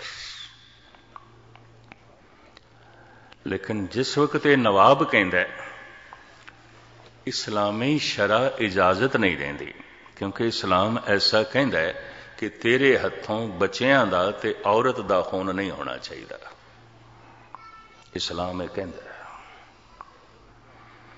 ਅਗਰ ਤੇਰੇ ਹੱਥੋਂ ਔਰਤ ਦਾ ਖੂਨ ਹੋਇਆ ਡੁੱਲਿਆ ਜ਼ਮੀਨ ਤੇ ਤੇ ਮਾਸੂਮ ਨਾਬਾਲਗ ਬੱਚਿਆਂ ਦਾ ਖੂਨ ਡੁੱਲਿਆ ਖੁਦਾ ਮਾਫ ਨਹੀਂ ਕਰੇਗਾ ਨਵਾਬ ਕਹਿੰਦਾ ਹੈ ਇਹ ਤੇ ਇਸਲਾਮ ਇਜਾਜ਼ਤ ਨਹੀਂ ਦਿੰਦਾ ਇਹ ਤੇ ਮਾਸੂਮ ਨੇ ਇਹ ਤੇ ਛੋਟੇ ਨੇ ਉਸ ਇਸਲਾਮ ਕਹਿੰਦਾ ਹੈ ਮਾਸੂਮ ਦਾ ਖੂਨ ਅਗਰ ਜ਼ਮੀਨ ਤੇ ਡੁੱਲੇਗਾ ਖੁਦਾ ਮਾਫ ਨਹੀਂ ਕਰੇਗਾ ਹੁਣ ਫਿਰ ਕਾਜ਼ੀ ਬੋਲ ਪਿਆ ਹੱਥ ਦੇ ਵਿੱਚ ਤਸਬੀਹ ਹੈ। ਬਗਲ ਦੇ ਵਿੱਚ ਕੁਰਾਨ ਸ਼ਰੀਫ ਹੈ। ਪੰਜ ਵਕਤ ਨਮਾਜ਼ ਪੜਦਾ ਹੈ। ਖੁੰਝਾਂਦਾ ਨਹੀਂ ਹੈ। ਰਮਜ਼ਾਨ ਦੇ ਮਹੀਨੇ 'ਚ ਪੂਰੇ 30 ਰੋਜ਼ੇ ਰੱਖਦਾ ਹੈ। ਇੱਕ ਰੋਜ਼ਾ ਵੀ ਖੁਜਾਂਦਾ ਨਹੀਂ ਹੈ। ਜ਼ਕਾਤ ਦਿੰਦਾ ਹੈ। ਪੰਜ ਵਕਤ ਨਮਾਜ਼ ਪੜਦਾ ਹੈ। ਔਰ ਬਕਾਇਦਾ ਦੋ ਵਕਤ ਕੁਰਾਨ ਦੀ ਤਲਾਵਤ ਕਰਦਾ ਹੈ, ਪਾਠ ਕਰਦਾ ਹੈ। ਕਹਿੰਦਾ ਨਵਾਬ ਸਾਹਿਬ ਖੂਨ ਡੋਲਣ ਦੀ ਕੀ ਲੋੜ ਹੈ? ਆਪਾਂ ਖੂਨ ਨਹੀਂ ਡੋਲਦੇ। ਮੈਂ ਫੈਸਲਾ ਕਰਦਾ ਇਹਨਾਂ ਦੋਹਾਂ ਨੂੰ ਜ਼ਿੰਦਾ ਦੀਵਾਰ ਦੇ ਚਿਣ ਦੋ, ਨਹੀਂ ਖੂਨ ਡੋਲੇਗਾ, ਗੱਲ ਖਤਮ।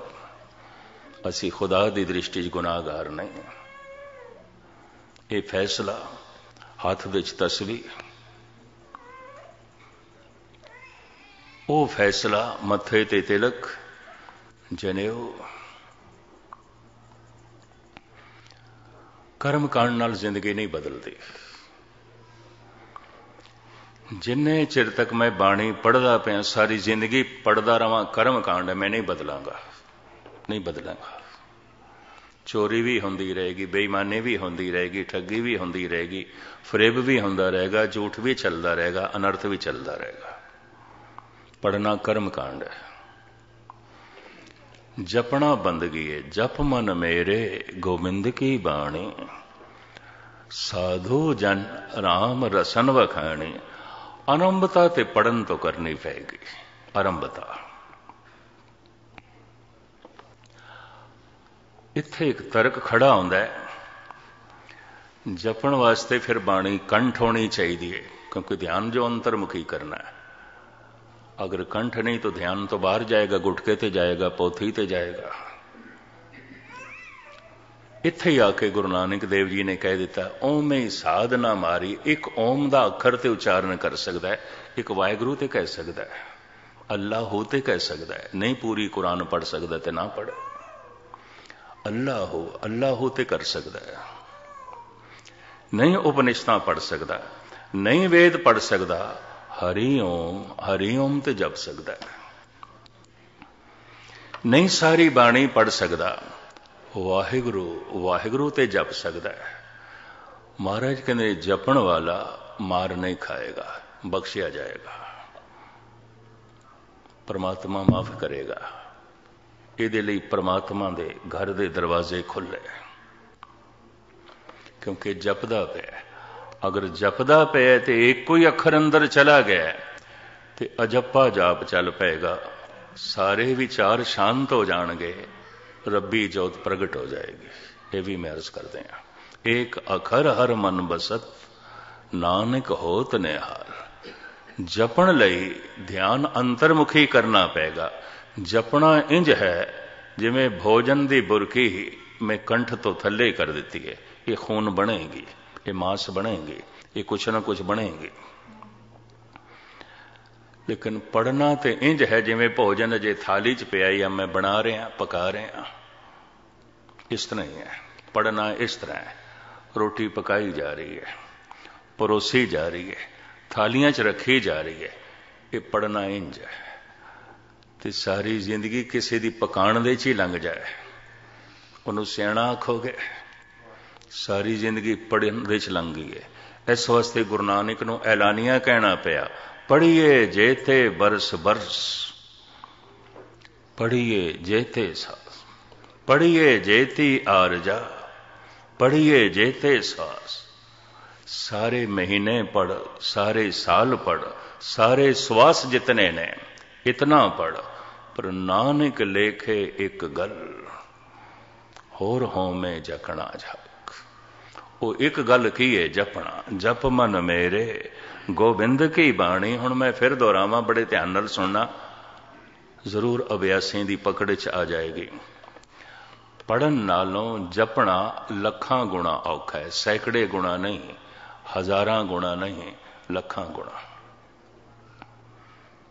ਪੜ੍ਹ ਤੇ ਕੋਈ ਵੀ ਲਏਗਾ, ਬੱਚੇ ਵੀ ਪੜ ਲੈਣਗੇ। ਬੁੱਢੇ ਵੀ ਪੜ ਲੈਣਗੇ, ਜਵਾਨ ਵੀ ਪੜ ਲੈਣਗੇ। ਜਪਣਾ ਔਖਾ ਹੈ। ਸ਼ੁਰੂਆਤ ਪੜਨ ਤੋਂ ਕਰਨੀ ਹੈ ਪੜਨਾ ਕਰਮ ਕਾਂਡ ਹੈ। ਅਗਰ ਜਪਣ ਦੇ ਸਫਲਤਾ ਮਿਲ ਗਈ ਤੇ ਅਨੁਭਵ ਹੈ। ਇਹ ਅਨੁਭਵ ਪ੍ਰਕਾਸ਼ ਹੈ। ਇਸ ਅਨੁਭਵ ਪ੍ਰਕਾਸ਼ ਵਿੱਚ ਫਿਰ ਜਿਹੜੇ ਅਰਥ ਖੁੱਲਣਗੇ, ਮੈਂ ਅਰਜ਼ ਕਰਾਂ ਬਾਹਰ ਦੇ ਟੀਕਿਆਂ ਦੇ ਅਰਥ ਨਾਲ ਮੇਲ ਨਹੀਂ ਖਾਣਗੇ। ਉਹ ਅਰਥ ਕੁਝ ਹੋਰ ਹੋਣਗੇ। ਉਹ ਅਰਥ ਵਾਸਤਵਿਕ ਅਰਥ ਹੋਣਗੇ ਔਰ ਉਹ ਅਰਥ ਵੀ ਇੱਕ ਨਹੀਂ ਹੋਵੇਗਾ। ਰੋਜ਼-ਰੋਜ਼ ਜਪਦੀਆਂ ਖੁੱਲਣਗੇ। ਨਵੇਂ ਤੋਂ ਨਵੇਂ ਖੁੱਲਣਗੇ। ਅੱਜ ਜਪਿਆ ਕੁਝ ਹੋਰ ਅਰਥ ਖੁੱਲੇ ਨੇ, ਕੱਲ ਜਪਿਆ ਕੁਝ ਹੋਰ ਅਰਥ ਖੁੱਲੇ ਨੇ।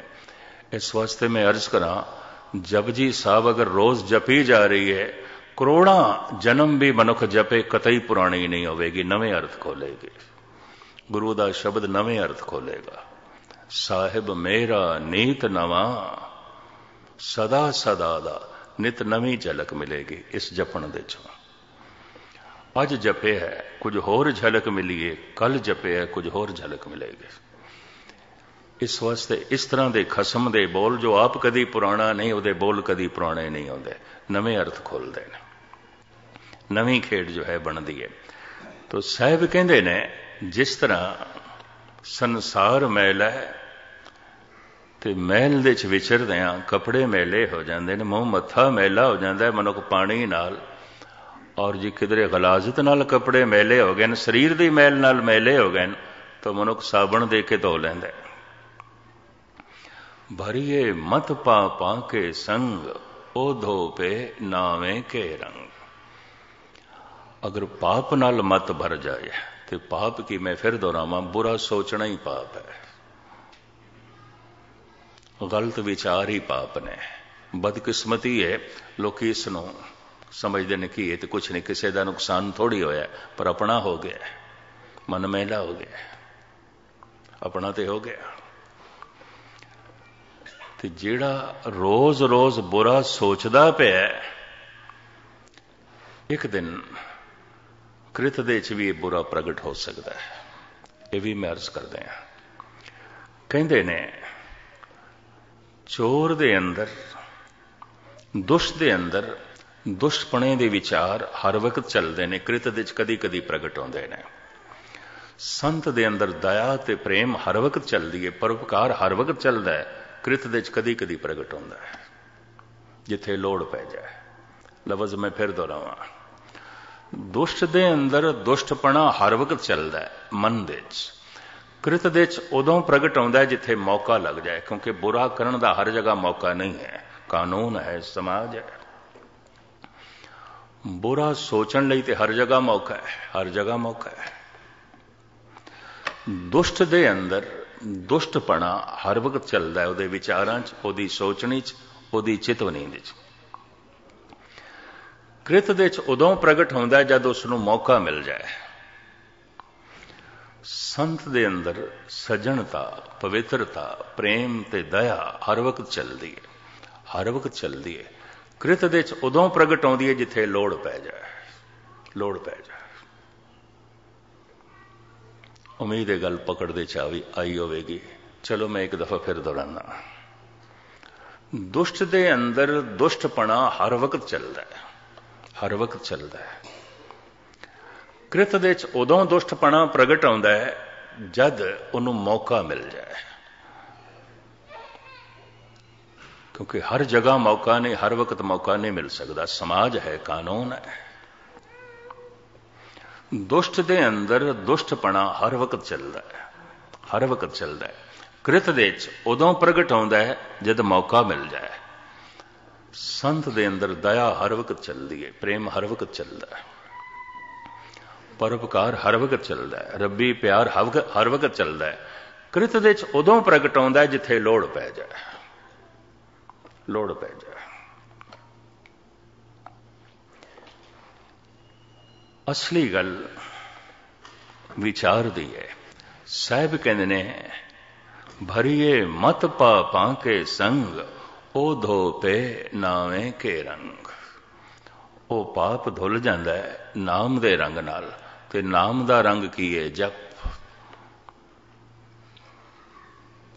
ਜਪਣਾ ਹੀ ਰੰਗ ਹੈ। ਜਪਦਿਆਂ ਜ਼ਿੰਦਗੀ ਬਦਲੇਗੀ।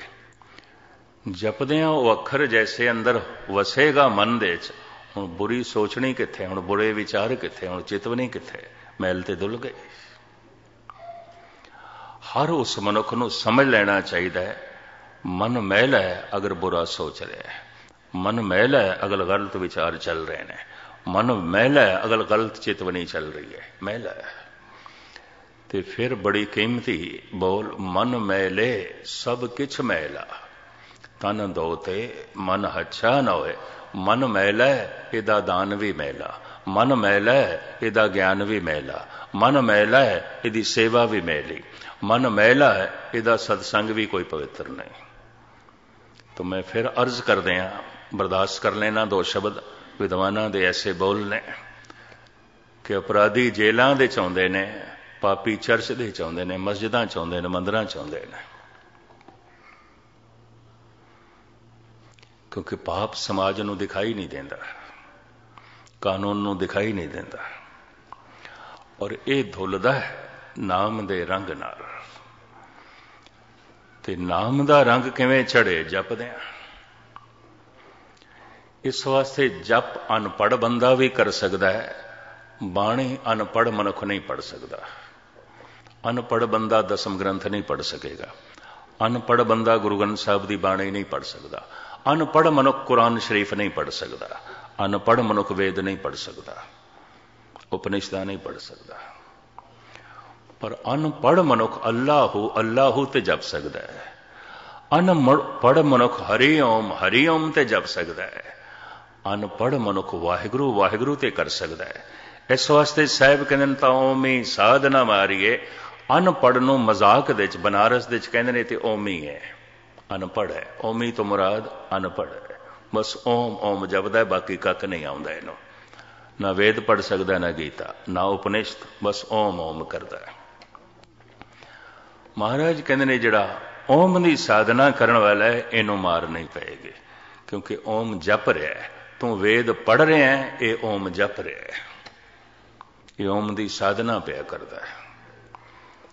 ਇਸ ਵਾਸਤੇ ਇਸ ਨੂੰ ਮਾਰ ਨਹੀਂ ਪਏਗੀ। ਸਹਿਬਾਂ ਦੀ ਬਾਣੀ ਦਾ ਫੈਸਲਾ, ਜੋ ਪ੍ਰਾਣੀ ਗੋਬਿੰਦ ਦੇ ਆਵੇ ਪੜਿਆ ਅਨ ਪੜਿਆ ਪਰਮਗਤ ਪਾਵੇ ਤੋ ਸਹਿਬ ਕਹਿੰਦੇ ਨੇ ਭਰੀਏ ਮਤ ਪਾਪਾਂ ਕੇ ਸੰਗ ਉਹ ਦੋ ਪੇ ਨਾਵੇਂ ਕੇ ਰੰਗ। ਹਾਂਜੀ। ਪੁੰਨੀ ਪਾਪੀ ਆਖਣ ਨਾ ਹੈ ਕਰ ਕਰ ਕਰਨਾ ਲਿਖ ਲੈ ਜਾਓ। ਇਹ ਬੰਦਾ ਪੁਨੀਤ ਹੈ ਇਹ ਬੰਦਾ ਪਾਪੀ ਹੈ ਇਹ ਸ਼ਰੀਫ ਹੈ ਇਹ ਬਦਮਾਸ਼ ਹੈ ਸਮਾਜ ਨਹੀਂ ਫੈਸਲਾ ਕਰ ਸਕਦਾ। ਸਮਾਜ ਦਾ ਫੈਸਲਾ ਕੋਈ ਫੈਸਲਾ ਨਹੀਂ ਫੈਸਲਾ ਪਰਮਾਤਮਾ ਦਾ ਹੈ। ਸਮਾਜ ਫੈਸਲਾ ਕਰਦਾ ਕ੍ਰਿਤ ਦੇ ਮੁਤਾਬਕ। ਇਹ ਕਰਦਾ ਕੀ ਹੈ? ਮੈਂ ਲਫ਼ਜ਼ ਫਿਰ ਦੁਹਰਾ ਦਿਆਂ। ਪਰਮਾਤਮਾ ਇਸ ਢੰਗ ਨਾਲ ਨਹੀਂ ਫੈਸਲਾ ਕਰਦਾ। ਪਰਮਾਤਮਾ ਫੈਸਲਾ ਕਰਦਾ, ਇਹ ਸੋਚਦਾ ਕੀ ਹੈ? ਇਸ ਢੰਗ ਨਾਲ ਫੈਸਲਾ ਕਰਦਾ। ਇਸ ਵਾਸਤੇ ਸਾਹਿਬ ਕਹਿੰਦੇ ਨੇ, ਪੁੰਨੇ ਪਾਪੀ ਆਖਣਾ ਹੈ ਕਹਿਣ ਮਾਤਰ ਨਹੀਂ ਕਿ ਤੁਸੀਂ ਕਹਿ ਦੋ ਬੰਦਾ ਬੜਾ ਪੁਨੀਤ ਹੈ। ਬੜਾ ਪ੍ਰੇਮੀ ਹੈ ਜੀ, ਰੋਜ਼ ਗੁਰਦੁਆਰੇ ਆਉਂਦਾ ਹੈ। ਬੜਾ ਸ਼ਰੀਫ ਹੈ, ਬੜਾ ਮਹਾਨ ਹੈ। ਰੋਜ਼ ਮੰਦਰ ਜਾਂਦਾ ਹੈ, ਪੂਜਾ ਪਾਠ ਕਰਦਾ ਹੈ। ਇਹ ਤੇ ਪੱਕਾ ਨਮਾਜ਼ੀ ਹੈ ਰੋਜ਼ ਨਮਾਜ਼ ਪੜਦਾ ਹੈ, ਮਸਜਿਦ ਜਾਂਦਾ ਹੈ। ਚਲੋ ਦੋ ਲਫ਼ਜ਼ ਮੈਂ ਹੋਰ ਦੁਹਰਾ ਦਿਆਂ। ਮੰਦਰ ਗਿਆ ਹੋਇਆ ਉਸ ਮਨੁੱਖ ਦਾ ਸਫਲ ਸਮਝ ਲਓ, ਉਸ ਦਿਨ, ਕਿਸ ਦਿਨ? ਜਿਸ ਦਿਨ ਉਹਦੀ ਜ਼ਿੰਦਗੀ ਹਰੀ ਮੰਦਰ ਬਣ ਜਾਏ। ਮਸਜਿਦ ਗਿਆ ਹੋਇਆ ਉਸ ਦਾ ਸਫਲ ਉਸ ਦਿਨ ਸਮਝ ਲਓ ਜਿਸ ਦਾ ਜੀਵਨ ਹੀ ਖਾਨਾ ਖੁਦਾ ਬਣ ਜਾਏ। ਗੁਰਦੁਆਰੇ ਗਿਆ ਹੋਇਆ ਉਸ ਦਿਨ ਉਸ ਦਾ ਸਫਲ ਸਮਝ ਲਓ, ਜਿਹਦੀ ਜ਼ਿੰਦਗੀ ਗੁਰੂ ਦਾ ਰੂਪ ਬਣ ਜਾਏ, ਤੇ ਗੁਰੂ ਕਹਿ ਦੇ ਮੇਰਾ ਆਪਣਾ ਹੀ ਰੂਪ ਹੈ। ਇਹ ਮੇਰਾ ਆਪਣਾ ਹੀ ਰੂਪ ਹੈ। ਖਾਲਸਾ ਮੇਰੋ ਰੂਪ ਹੈ, ਖਾਸ ਮੇਰਾ ਤਾਂ ਆਪਣਾ ਹੀ ਰੂਪ ਹੈ। ਇਹਨੂੰ ਵੇਖੋ ਤੇ ਮੈਨੂੰ ਵੇਖ ਲਓ। ਭਗਤ ਕਬੀਰ ਨੂੰ ਕੁਝ ਤਾਰਕਿਕ ਲੋਕਾਂ ਨੇ ਕਹਿ ਦਿੱਤਾ ਹੈ ਵੀ ਹੈ ਤਾਂ ਮੁਸਲਮਾਨ ਕਿਉਂਕਿ ਕਬੀਰ ਨਾਮ ਇਸਲਾਮੀ ਹੈ। ਕਬੀਰ ਸ਼ਬਦ ਅਰਬੀ ਦਾ ਹੈ। ਇਹਦੇ ਅਰਥ ਨੇ ਬਜ਼ੁਰਗ ਪੁਰਾਣਾ। ਗੁਰੂ ਨਾਨਕ ਦੇਵ ਜੀ ਮਹਾਰਾਜ ਪ੍ਰਮਾਤਮਾ ਨੂੰ ਵੀ ਕਬੀਰ ਕਹਿੰਦੇ ਨੇ, ਯਕ ਅਰਜ਼ ਗੁਫਤਮ ਪੇਸ਼ ਤੋ ਦਰਗੋਸ਼ ਕੁਨ ਕਰਤਾਰ, ਹੱਕਾ ਕਬੀਰ ਕਰੀਮ ਤੂੰ ਬੇਅਬ ਪਰਵਰਦਿਗਾਰ। हे ਪਰਵਰਦਿਗਾਰ, ਤੂੰ ਹੱਕ ਹੈ, ਸੱਚ ਹੈ, ਤੂੰ ਕਬੀਰ ਹੈ, ਪੁਰਾਣਾ ਹੈ, ਬਜ਼ੁਰਗ ਹੈ ਸਿਹਣਾ ਹੈ। ਪਰਮਾਤਮਾ ਨੂੰ ਵੀ ਗੁਰੂ ਨਾਨਕ ਕਬੀਰ ਕਹਿੰਦੇ ਨੇ। ਇਸਲਾਮੀ ਨਾਮ ਹੈ ਕਬੀਰ ਨੂੰ ਮੁਸਲਮਾਨਾਂ ਨੇ ਕਿਹਾ ਹੱਦ ਹੋ ਗਈ ਤੂੰ ਮੁਸਲਮਾਨ ਹੈ ਤੈਨੂੰ ਕਦੀ ਮਸਜਿਦ ਦੇ ਵਿੱਚ ਨਹੀਂ ਦੇਖਿਆ ਨਮਾਜ਼ ਪੜ੍ਹਦਿਆਂ ਨਹੀਂ ਦੇਖਿਆ ਕੈਸਾ ਮੁਸਲਮਾਨ ਹੈ ਚਲੋ ਪੰਜ ਵਕਤ ਨਹੀਂ ਪੜਦਾ ਦੋ ਵਕਤ ਪੜ ਲਿਆ ਕਰ ਰੋਜ਼ ਨਹੀਂ ਪੜ ਸਕਦਾ ਜੁਮੇ ਵਾਲੇ ਦਿਨ ਸਹੀ ਪਰ ਤੈਨੂੰ ਤੇ ਕਦੀ ਦੇਖਿਆ ਹੀ ਨਹੀਂ ਪਤਾ ਹੈ, ਕਬੀਰ ਨੇ ਉੱਥੇ ਬੋਲ ਕੇ ਆਖੇ ਬੜੇ ਕੀਮਤੀ ਗੁਰੂ ਗ੍ਰੰਥ ਸਾਹਿਬ ਜੀ ਮਹਾਰਾਜ ਦੇ ਦਰਜ ਨੇ। ਦੇਹੀ ਮਹਿਜਿਦ, ਮਨ ਮੌਲਾਣਾ, ਸਹਿਜ ਨਮਾਜ਼ ਗੁਜ਼ਾਰੇ। ਮੇਰੀ ਦੇਹੀ ਮਸਜਿਦ ਬਣ ਗਈ ਹੈ, ਮੇਰਾ ਮਨ ਮੌਲਵੀ ਬਣ ਗਿਆ ਮੁਸਲਮਾਨੋ, ਤੁਸੀਂ ਪੰਜ ਟਾਈਮ ਮਸਜਿਦ ਦੇ ਜਾਂਦੇ ਹੋਵੋਗੇ, ਅਸੀਂ ਹਰ ਵਕਤ ਮਸਜਿਦ ਵਿੱਚ ਰਹਿੰਦੇ ਹਾਂ। ਤੁਸੀਂ ਪੰਜ ਵਕਤ ਨਮਾਜ਼ ਪੜ੍ਹਦੇ ਹੋਵੋਗੇ, ਅਸੀਂ ਹਰ ਵਕਤ ਪੜ੍ਹਦੇ ਹਾਂ। ਤੁਸੀਂ ਬਾਹਰ ਦੀ ਮਸਜਿਦ ਵਿੱਚ ਜਾਂਦੇ ਹੋਗੇ ਸਾਡੀ ਦੇਹੀ ਮਸਜਿਦ ਬਣ ਗਈ ਹੈ। ਖਾਨਾ ਖੁਦਾ ਬਣ ਗਈ ਹੈ। ਮਸਜਿਦ ਵਿੱਚ ਗਿਆ ਹੋਇਆ ਉਸ ਦਿਨ ਸਫਲ ਸਮਝ ਲਓ, ਜਿਸ ਦਿਨ ਜ਼ਿੰਦਗੀ ਖਾਨਾ ਖੁਦਾ ਬਣ ਜਾਏ। ਮੰਦਰ ਵਿੱਚ ਗਿਆ ਹੋਇਆ ਉਸ ਦਿਨ ਸਫਲ ਸਮਝ ਲਓ, ਜਿਸ ਦਿਨ ਜ਼ਿੰਦਗੀ ਹਰੀ ਮੰਦਰ ਬਣ ਜਾਏ। ਬਣ ਜਾਂਦੀ ਹੈ। ਭਗਤ ਪੀਪਾ ਜੀ ਕਹਿ ਰਹੇ ਨੇ, ਕਾਇਓ ਦੇਵਾ, ਕਾਇਓ ਦੇਵਲ, ਕਾਇਓ ਜੰਗਮ ਜਾਤੀ, ਗੁਜਰਾਤ ਮਹਾਰਾਸ਼ਟਰ ਦੇ ਵਿੱਚ ਮੰਦਰ ਨੂੰ ਦੇਵਲ ਕਹਿੰਦੇ ਨੇ। ਪੀਪਾ ਜੀ ਕਹਿੰਦੇ ਨੇ, ਮੈਨੂੰ ਦੇਵਲ ਜਾਣ ਦੀ ਲੋੜ ਨਹੀਂ, ਕਿਉਂ? ਕਾਇਆ ਦੇਵਲ ਬਣ ਗਈ ਹੈ ਦੇਵਤਾ ਪ੍ਰਗਟ ਹੋ ਗਿਆ ਗੁਰਦੁਆਰੇ ਗਿਆ ਹੋਇਆ ਉਸ ਦਿਨ, ਸਫਲ ਸਮਝੋ ਸਿੱਖ ਦਾ, ਜਿਹਦੀ ਜ਼ਿੰਦਗੀ ਗੁਰੂ ਦਾ ਰੂਪ ਬਣ ਜਾਏ। ਗੁਰਦੁਆਰੇ ਕਿਸ ਵਾਸਤੇ ਜਾਈਦਾ ਹੈ ਗੁਰੂ ਚੇਤੇ ਆਵੇ। ਪਰ ਯਕੀਨ ਜਾਣੋ, ਸਿੱਖ ਵੀ ਪੂਰਾ ਉਹ ਹੀ ਹੈ ਜਿਹਨੂੰ ਵੇਖੀਏ ਤੇ ਗੁਰੂ ਚੇਤੇ ਆਵੇ। ਅਸੀਂ ਇਸ ਵਾਸਤੇ ਅਰਦਾਸ ਦੇ ਵਿੱਚ ਇਹ ਸ਼ਬਦ ਐਡ ਕੀਤੇ ਹੋਏ ਨੇ, ਸਹੀ ਸੰਤ ਗੁਰਮੁਖ ਪਿਆਰੇ ਮੇਲ, ਜਿਨ੍ਹਾਂ ਮਿਲਿਆ ਤੇਰਾ ਨਾਮ ਚੇਤੇ ਆਵੇ। ਧਾਰਮਿਕ ਮੰਦਰ ਦੇ ਵਿੱਚ ਕਿਉਂ ਜਾਂਦੇ ਆ? ਪ੍ਰਭੂ ਚੇਤੇ ਆਵੇ। ਤੇ ਜਿਹਦਾ ਜੀਵਨ ਧਾਰਮਿਕ ਮੰਦਰ ਬਣ ਗਿਆ, ਯਕੀਨ ਜਾਣੋ, ਉਹਨੂੰ ਵੇਖਦਿਆਂ ਵੀ ਰੱਬ ਚੇਤੇ ਆਉਂਦਾ ਹੈ। ਮਾਧੋ, ਸਾਧੂ ਜਨ ਦਿਓ ਮਿਲਾਏ, ਤਰਲੇ ਲਏ ਨੇ, ਗੁਰਬਾਣੀ ਨੇ। ਸਹੀ ਸੰਤ ਗੁਰਮੁਖ ਪਿਆਰੇ ਮੇਲ ਜਿਨ੍ਹਾਂ ਮਿਲਿਆ ਤੇਰਾ ਨਾਮ ਚੇਤੇ ਆਵੇ। ਜਿਨ੍ਹਾਂ ਦੇ ਸੰਦਣਿਆ ਮੇਰੀ ਦੁਰਮਤ ਵੰਜੇ। ਮਿੱਤਰ ਅਸਾਜੜੇ ਸਈ ਪਰ ਹੋਂ ਦੀ ਜਗ ਸਬਾਇਆ। ਜਨ ਨਾਨਕ ਵਿਰਲੇ ਕੇ। ਦੋ ਲਫ਼ਜ਼ ਹੋਰ ਚੇਤੇ ਕਰ ਲੈਣਾ, ਮੈਂ ਸਮਾਪਤੀ ਕਰਨ ਲੱਗਾ। ਧਾਰਮਿਕ ਮੰਦਰ ਜ਼ਮੀਨ ਤੇ ਜ਼ਿਆਦਾ ਨੇ। ਜਿਤਨੀਆਂ ਮਸਜਿਦਾਂ ਨੇ, ਜਿਤਨੇ ਚਰਚ ਨੇ, ਜਿਤਨੇ ਗੁਰਦੁਆਰੇ ਨੇ, ਜਿਤਨੇ ਮੰਦਰ ਨੇ ਜਿਤਨੇ ਬੌਧ ਮਠ ਨੇ ਇਤਨੇ ਧਾਰਮਿਕ ਮਨੁੱਖ ਨਹੀਂ ਨੇ ਗੁਰਦੁਆਰੇ ਜ਼ਿਆਦਾ ਨੇ ਗੁਰੂ ਕੇ ਸਿੱਖ ਬਹੁਤ ਥੋੜੇ ਨੇ ਮੰਦਰ ਜ਼ਿਆਦਾ ਨੇ ਭਗਤ ਤੇ ਕੋਈ ਕੋਈ ਮਸਜਿਦਾਂ ਬਹੁਤ ਨੇ ਚਰਚ ਬਹੁਤ ਨੇ ਪਰ ਫਕੀਰ ਤੇ ਕੋਈ ਕੋਈ ਕੋਈ ਕੋਈ ਜ਼ਮੀਨ ਦੇ ਉੱਤੇ ਮੰਦਰ ਬਣਾ ਦੇਣਾ ਥੋੜੇ ਜਿਹਾ ਪੈਸਿਆਂ ਦਾ ਖਰਚਾ ਹੈ, ਧਨ ਦਾ ਖਰਚਾ ਹੈ, ਸੇਵਾ ਹੈ। ਪਰ ਜ਼ਿੰਦਗੀ ਹਰੀ ਮੰਦਰ ਬਣੇ ਬਿਨਾ ਸਿਮਰਨ ਤੋਂ ਨਹੀਂ ਬਣੇਗੀ, ਬਿਨਾ ਜਪ ਤੋਂ ਨਹੀਂ ਬਣੇਗੀ। ਬਿਨਾ ਜਪ ਤੋਂ ਗੁਰਦੁਆਰਾ ਬਣ ਸਕਦਾ ਹੈ, ਔਖੇ ਨਾ ਹੋਣਾ।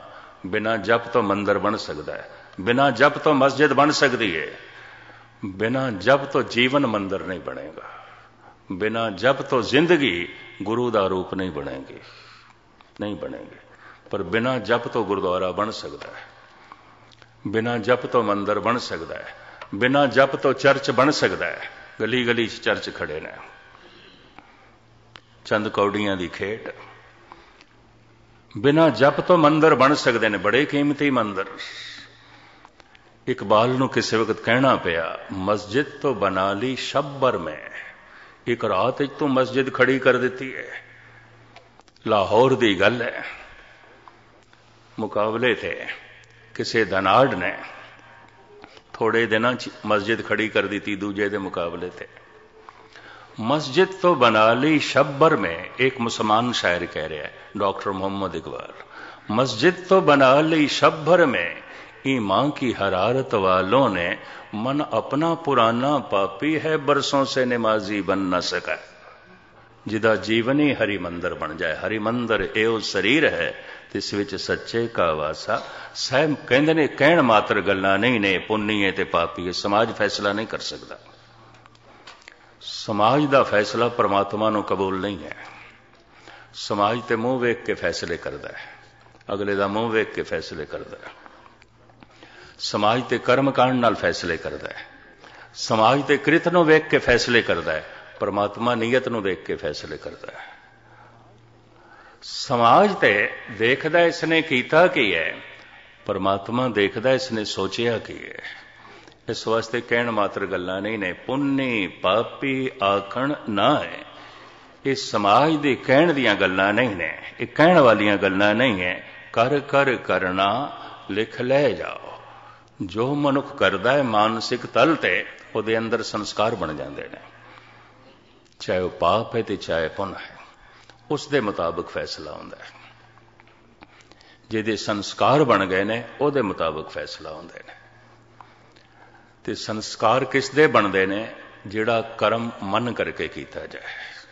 ਉਹਦੇ ਸੰਸਕਾਰ ਬਣਦੇ ਨੇ। ਇੱਕ ਮਨੁੱਖ ਨੇ ਬੁਰਾ ਕਰ ਛੱਡਿਆ, ਮਨ ਕਰਕੇ ਨਹੀਂ ਕੀਤਾ।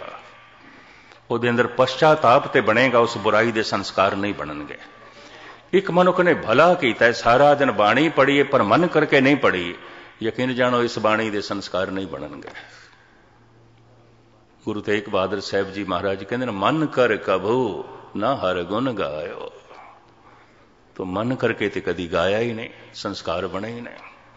ਕਰ ਕਰ ਕਰਨਾ ਲਿਖ ਲੈ ਜਾ। ਜੋ ਮਨ ਨਾਲ ਕੀਤਾ ਜਾਂਦਾ ਸੰਸਕਾਰ ਉਸ ਦੇ ਬਣਦੇ ਨੇ। ਚਾਹੇ ਉਹ ਕ੍ਰਿਤ ਬਣੇ ਤੇ ਚਾਹੇ ਵਿਚਾਰ ਬਣੇ। ਚਾਹੇ ਉਹ ਕਿਰਦਾਰ ਬਣੇ ਤੇ ਚਾਹੇ ਵਿਚਾਰ ਬਣੇ। ਮਾਨਸਿਕ ਤਲ ਤੇ ਜੋ ਚੱਲਦਾ ਹੈ ਉਸੇ ਦੇ ਹੀ ਸੰਸਕਾਰ ਬਣਦੇ ਨੇ। ਉਹੀ ਲਿਖਿਆ ਜਾਂਦਾ ਹੈ। ਉਹੀ ਜੋ ਹੈ ਮਨ ਵਿੱਚ ਅੰਕੁਰਿਤ ਹੁੰਦਾ ਹੈ। ਸਾਹਿਬ ਕਹਿੰਦੇ ਨੇ ਪ੍ਰਮਾਤਮਾ ਦੀ ਦਰਗਾਹ ਵਿੱਚ ਉਸ ਦੇ ਮੁਤਾਬਕ ਜੋ ਹੈ ਫੈਸਲੇ ਹੁੰਦੇ ਨੇ। ਹਾਂਜੀ। ਆਪੇ ਬੀਜ ਆਪੇ ਹੀ ਖਾਓ। ਫਿਰ ਇੱਕ ਐਸਾ ਵੀ ਹੈ ਜ਼ਮੀਨ ਤੇ ਕੋਈ ਬੌਂਦਾ ਹੈ ਕੋਈ ਖਾਂਦਾ ਹੈ ਐਸਾ ਵੀ ਹੋ ਜਾਂਦਾ ਹੈ। ਪਿਓ ਨੇ ਬੀਜਿਆ ਪੁੱਤਰ ਖਾਂਦੇ ਨੇ। ਪੁੱਤਰ ਬੀਜਦੇ ਨੇ, ਪਿਤਾ ਖਾਂਦਾ ਹੈ, ਭਰਾ ਨੇ ਬੀਜਿਆ ਭਰਾ ਖਾਂਦਾ ਹੈ, ਪਰ ਜੀਵਨ ਵਿੱਚ ਐਸਾ ਨਹੀਂ ਹੈ। ਮਨ ਖੁਦ ਬੀਜਦਾ ਹੈ, ਖੁਦ ਹੀ ਖਾਂਦਾ ਹੈ। ਇਸ ਵਾਸਤੇ ਦੇਖਦੇ ਹਾਂ, ਪਰਿਵਾਰ ਵਿੱਚ ਇੱਕ ਬੰਦਾ ਬ੍ਰਹਮ ਗਿਆਨੀ ਹੈ, ਬਾਕੀ ਸਾਰੇ ਮੂਰਖ ਨੇ। ਮੀਰਾ ਧਾਰਮਿਕ ਸੀ ਉਸ ਦਾ ਪਤਾ ਹੀ ਨਹੀਂ ਸੀ। ਤਰਲੋਚਨ ਧਾਰਮਿਕ ਸੀ, ਸਵੇਰੇ ਅੰਮ੍ਰਿਤ ਵੇਲੇ ਉੱਠਦਿਆਂ ਪ੍ਰਭੂ ਦੇ ਗੀਤ ਗਾਉਂਦਾ ਸੀ। ਤੇ ਸਵੇਰੇ ਉੱਠਦਿਆਂ ਸਾਰੀ ਉਸ ਦੀ ਪਤਨੀ ਗਾਲਾਂ ਕੱਢਦੀ ਸੀ, ਪ੍ਰਮਾਤਮਾ ਨੂੰ ਵੀ ਤੇ ਭਗਤ ਨੂੰ ਵੀ। ਤਰਲੋਚਨ ਨੂੰ ਕਹਿਣਾ ਪਿਆ, ਨਾਰਾਇਣ ਨਿੰਦਸ ਕਾਏ ਭੋਲੀ ਗਵਾਰੀ, ਦੁਖਰਤ ਸੁਕਰਤ ਥਾਰੋ ਕਰਮਰੀ। ਮੈਂ ਉਪਮਾ ਕਰਦਾ ਪ੍ਰਭੂ ਦੀ ਤੂੰ ਨਿੰਦਾ ਕਰਦੀ ਹੈ ਮੈਂ ਉਹਦੇ ਗੁਣਾਂ ਦਾ ਉਚਾਰਨ ਕਰਦਾ ਤੂੰ ਔਗਣ ਬਿਆਨ ਕਰਦੀ ਹੈ ਉਹ ਗਲਤ ਬਿਆਨ ਕਰਦੀ ਹੈ ਤਾਲਮੇਲ ਨਹੀਂ ਬੈਠਿਆ। ਉਹ ਬ੍ਰਹਮ ਗਿਆ ਨਹੀਂ ਹੈ ਉਹ ਮਹਾਮੋੜ। ਮੀਰਾ ਬ੍ਰਹਮ ਗਿਆਨੀ ਹੈ, ਉਹਦਾ ਪਤੀ ਮਹਾਮੋੜ ਪ੍ਰਹਿਲਾਦ ਬ੍ਰਹਮ ਗਿਆਨੀ ਹੈ, ਉਹਦਾ ਪਿਤਾ ਕੁਝ ਵੀ ਨਹੀਂ ਹੈ। ਇਥੇ ਆਪ ਬੀਜ ਆਪੇ ਹੀ ਖਾਏ। ਇਹ ਵੀ ਮੈਂ ਅਰਜ ਕਰਦੇ ਹਾਂ। ਜ਼ਮੀਨ ਦੇ ਉੱਤੇ ਕਈ ਦਫਾ ਐਸਾ ਹੁੰਦਾ ਹੈ, ਦਰਖਤ ਕਿਸੇ ਨੇ ਲਾਇਆ, ਫਲ ਕੋਈ ਖਾਂਦਾ ਪਿਆ। ਪਰ ਜੀਵਨ ਦੇ ਚ ਐਸਾ ਨਹੀਂ ਹੈ। ਅੰਦਰ ਦੀ ਜ਼ਿੰਦਗੀ ਚ ਐਸਾ ਨਹੀਂ ਹੈ। ਇਹ ਤੇ ਆਪ ਬੀਜ ਆਪੇ ਹੀ ਖਾਏ। ਇਸ ਨੂੰ ਛੋਟੇ ਰੂਪ ਵਿੱਚ ਇੰਜ ਬਿਆਨ ਕਰੀਏ, ਮੈਂ ਪਾਣੀ ਪੀਆਂ, ਮੇਰੀ ਪਿਆਸ ਬੁਝਦੀ ਹੈ ਕਿਸੇ ਦੇ ਪੀਣ ਨਾਲ ਨਹੀਂ। ਮੈਂ ਭੋਜਨ ਛਕਾਂ, ਮੇਰੀ ਭੁੱਖ ਮਿਟਦੀ ਹੈ ਕਿਸੇ ਦੇ ਖਾਣ ਨਾਲ ਨਹੀਂ। ਮੈਂ ਜਪ ਕਰਾਂ, ਆਨੰਦ ਬਣਦਾ ਹੈ ਕਿਸੇ ਦੇ ਜਪਣ ਨਾਲ ਨਹੀਂ। ਪ੍ਰੇਰਣਾ ਮਿਲ ਸਕਦੀ ਹੈ ਜ਼ਿੰਦਗੀ ਤੇ ਬਦਲੇਗੀ ਖੁਦ ਦੇ ਜੋ ਹੈ ਜਪਣ ਦੇ ਨਾਲ। ਇਸ ਵਾਸਤੇ ਸਾਹਿਬ ਇੱਥੇ ਕਹਿੰਦੇ ਨੇ, ਕਰ ਕਰ, ਕਰਨਾ, ਲਿਖ, ਲੈ ਜਾਓ। ਹਾਂਜੀ। ਆਪੇ ਬੀਜ ਆਪੇ ਹੀ ਖਾਓ।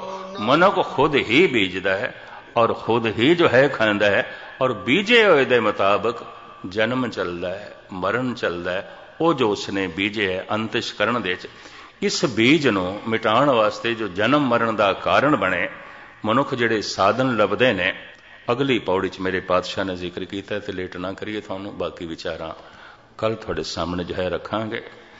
ਉਹ ਅਗਰ ਸੰਸਕਾਰ ਬਣ ਗਏ ਨੇ ਤਾਂ ਉਹਨੂੰ ਮਿਟਾਈਏ ਕਿਵੇਂ? ਧੋਈਏ ਕਿਵੇਂ ਕਿ ਬਾਅਦ 'ਚ ਉਹ ਜਨਮ ਦਾ ਕਾਰਨ ਨਾ ਬਣਨ ਆਣ ਦਾ ਕਾਰਨ ਨਾ ਬਣਨ ਆਣ ਜਾਣ ਦਾ ਕਾਰਨ ਨਾ ਬਣਨ। ਨਾਨਕ ਹੁਕਮੇ ਆਵੋ ਜਾਓ, ਜੋ ਉਸਨੇ ਮਰਿਆਦਾ ਬਣਾਈ ਹੈ ਉਹ ਸੰਸਕਾਰ ਜੋ ਜਨਮ ਦਾ ਕਾਰਨ ਬਣਦੇ ਨੇ, ਬਾਰ-ਬਾਰ ਮਰਨ ਦਾ ਕਾਰਨ ਮਰਦੇ ਨੇ, ਇਹਨਾਂ ਨੂੰ ਮਿਟਾਈਏ ਕਿਵੇਂ? ਤੇ ਆਉਣਾ ਜਾਵਣਾ ਮਿਟੇ ਕਿਵੇਂ? ਬਾਕੀ ਵਿਚਾਰਾਂ ਕੱਲ ਇੱਥੇ ਹੀ ਸਮਾਪਤੀ। ਸਾਰਿਆਂ ਦਾ ਹਾਰਦਿਕ ਤੌਰ ਤੇ ਧੰਨਵਾਦ। ਸਤਿਗੁਰ ਸਾਰਿਆਂ ਨੂੰ ਤੌਫੀਕ ਦੇਵੇ। ਗੁਰਦੁਆਰੇ ਆਇਓ, ਸਤਿਗੁਰ ਦੀ ਹਜ਼ੂਰੀ ਚ ਆਇਓ। ਪਾਤਸ਼ਾਹ ਮਿਹਰ ਕਰਨ ਸਾਰੇ ਗੁਰੂ ਦਾ ਰੂਪ ਬਣਨ। ਤੁਹਾਨੂੰ ਵੇਖ ਕੇ ਦੁਨੀਆ ਨੂੰ ਗੁਰੂ ਚੇਤੇ ਆਵੇ, ਪ੍ਰਭੂ ਚੇਤੇ ਆਵੇ। ਬਾਰ-ਬਾਰ ਧੰਨਵਾਦ। ਸ਼ੁਕਰਾਨਾ, ਫਤਿਹ ਪ੍ਰਮਾਨ ਕਰਨੇ। ਵਾਹਿਗੁਰੂ ਜੀ ਕਾ ਖਾਲਸਾ। ਵਾਹਿਗੁਰੂ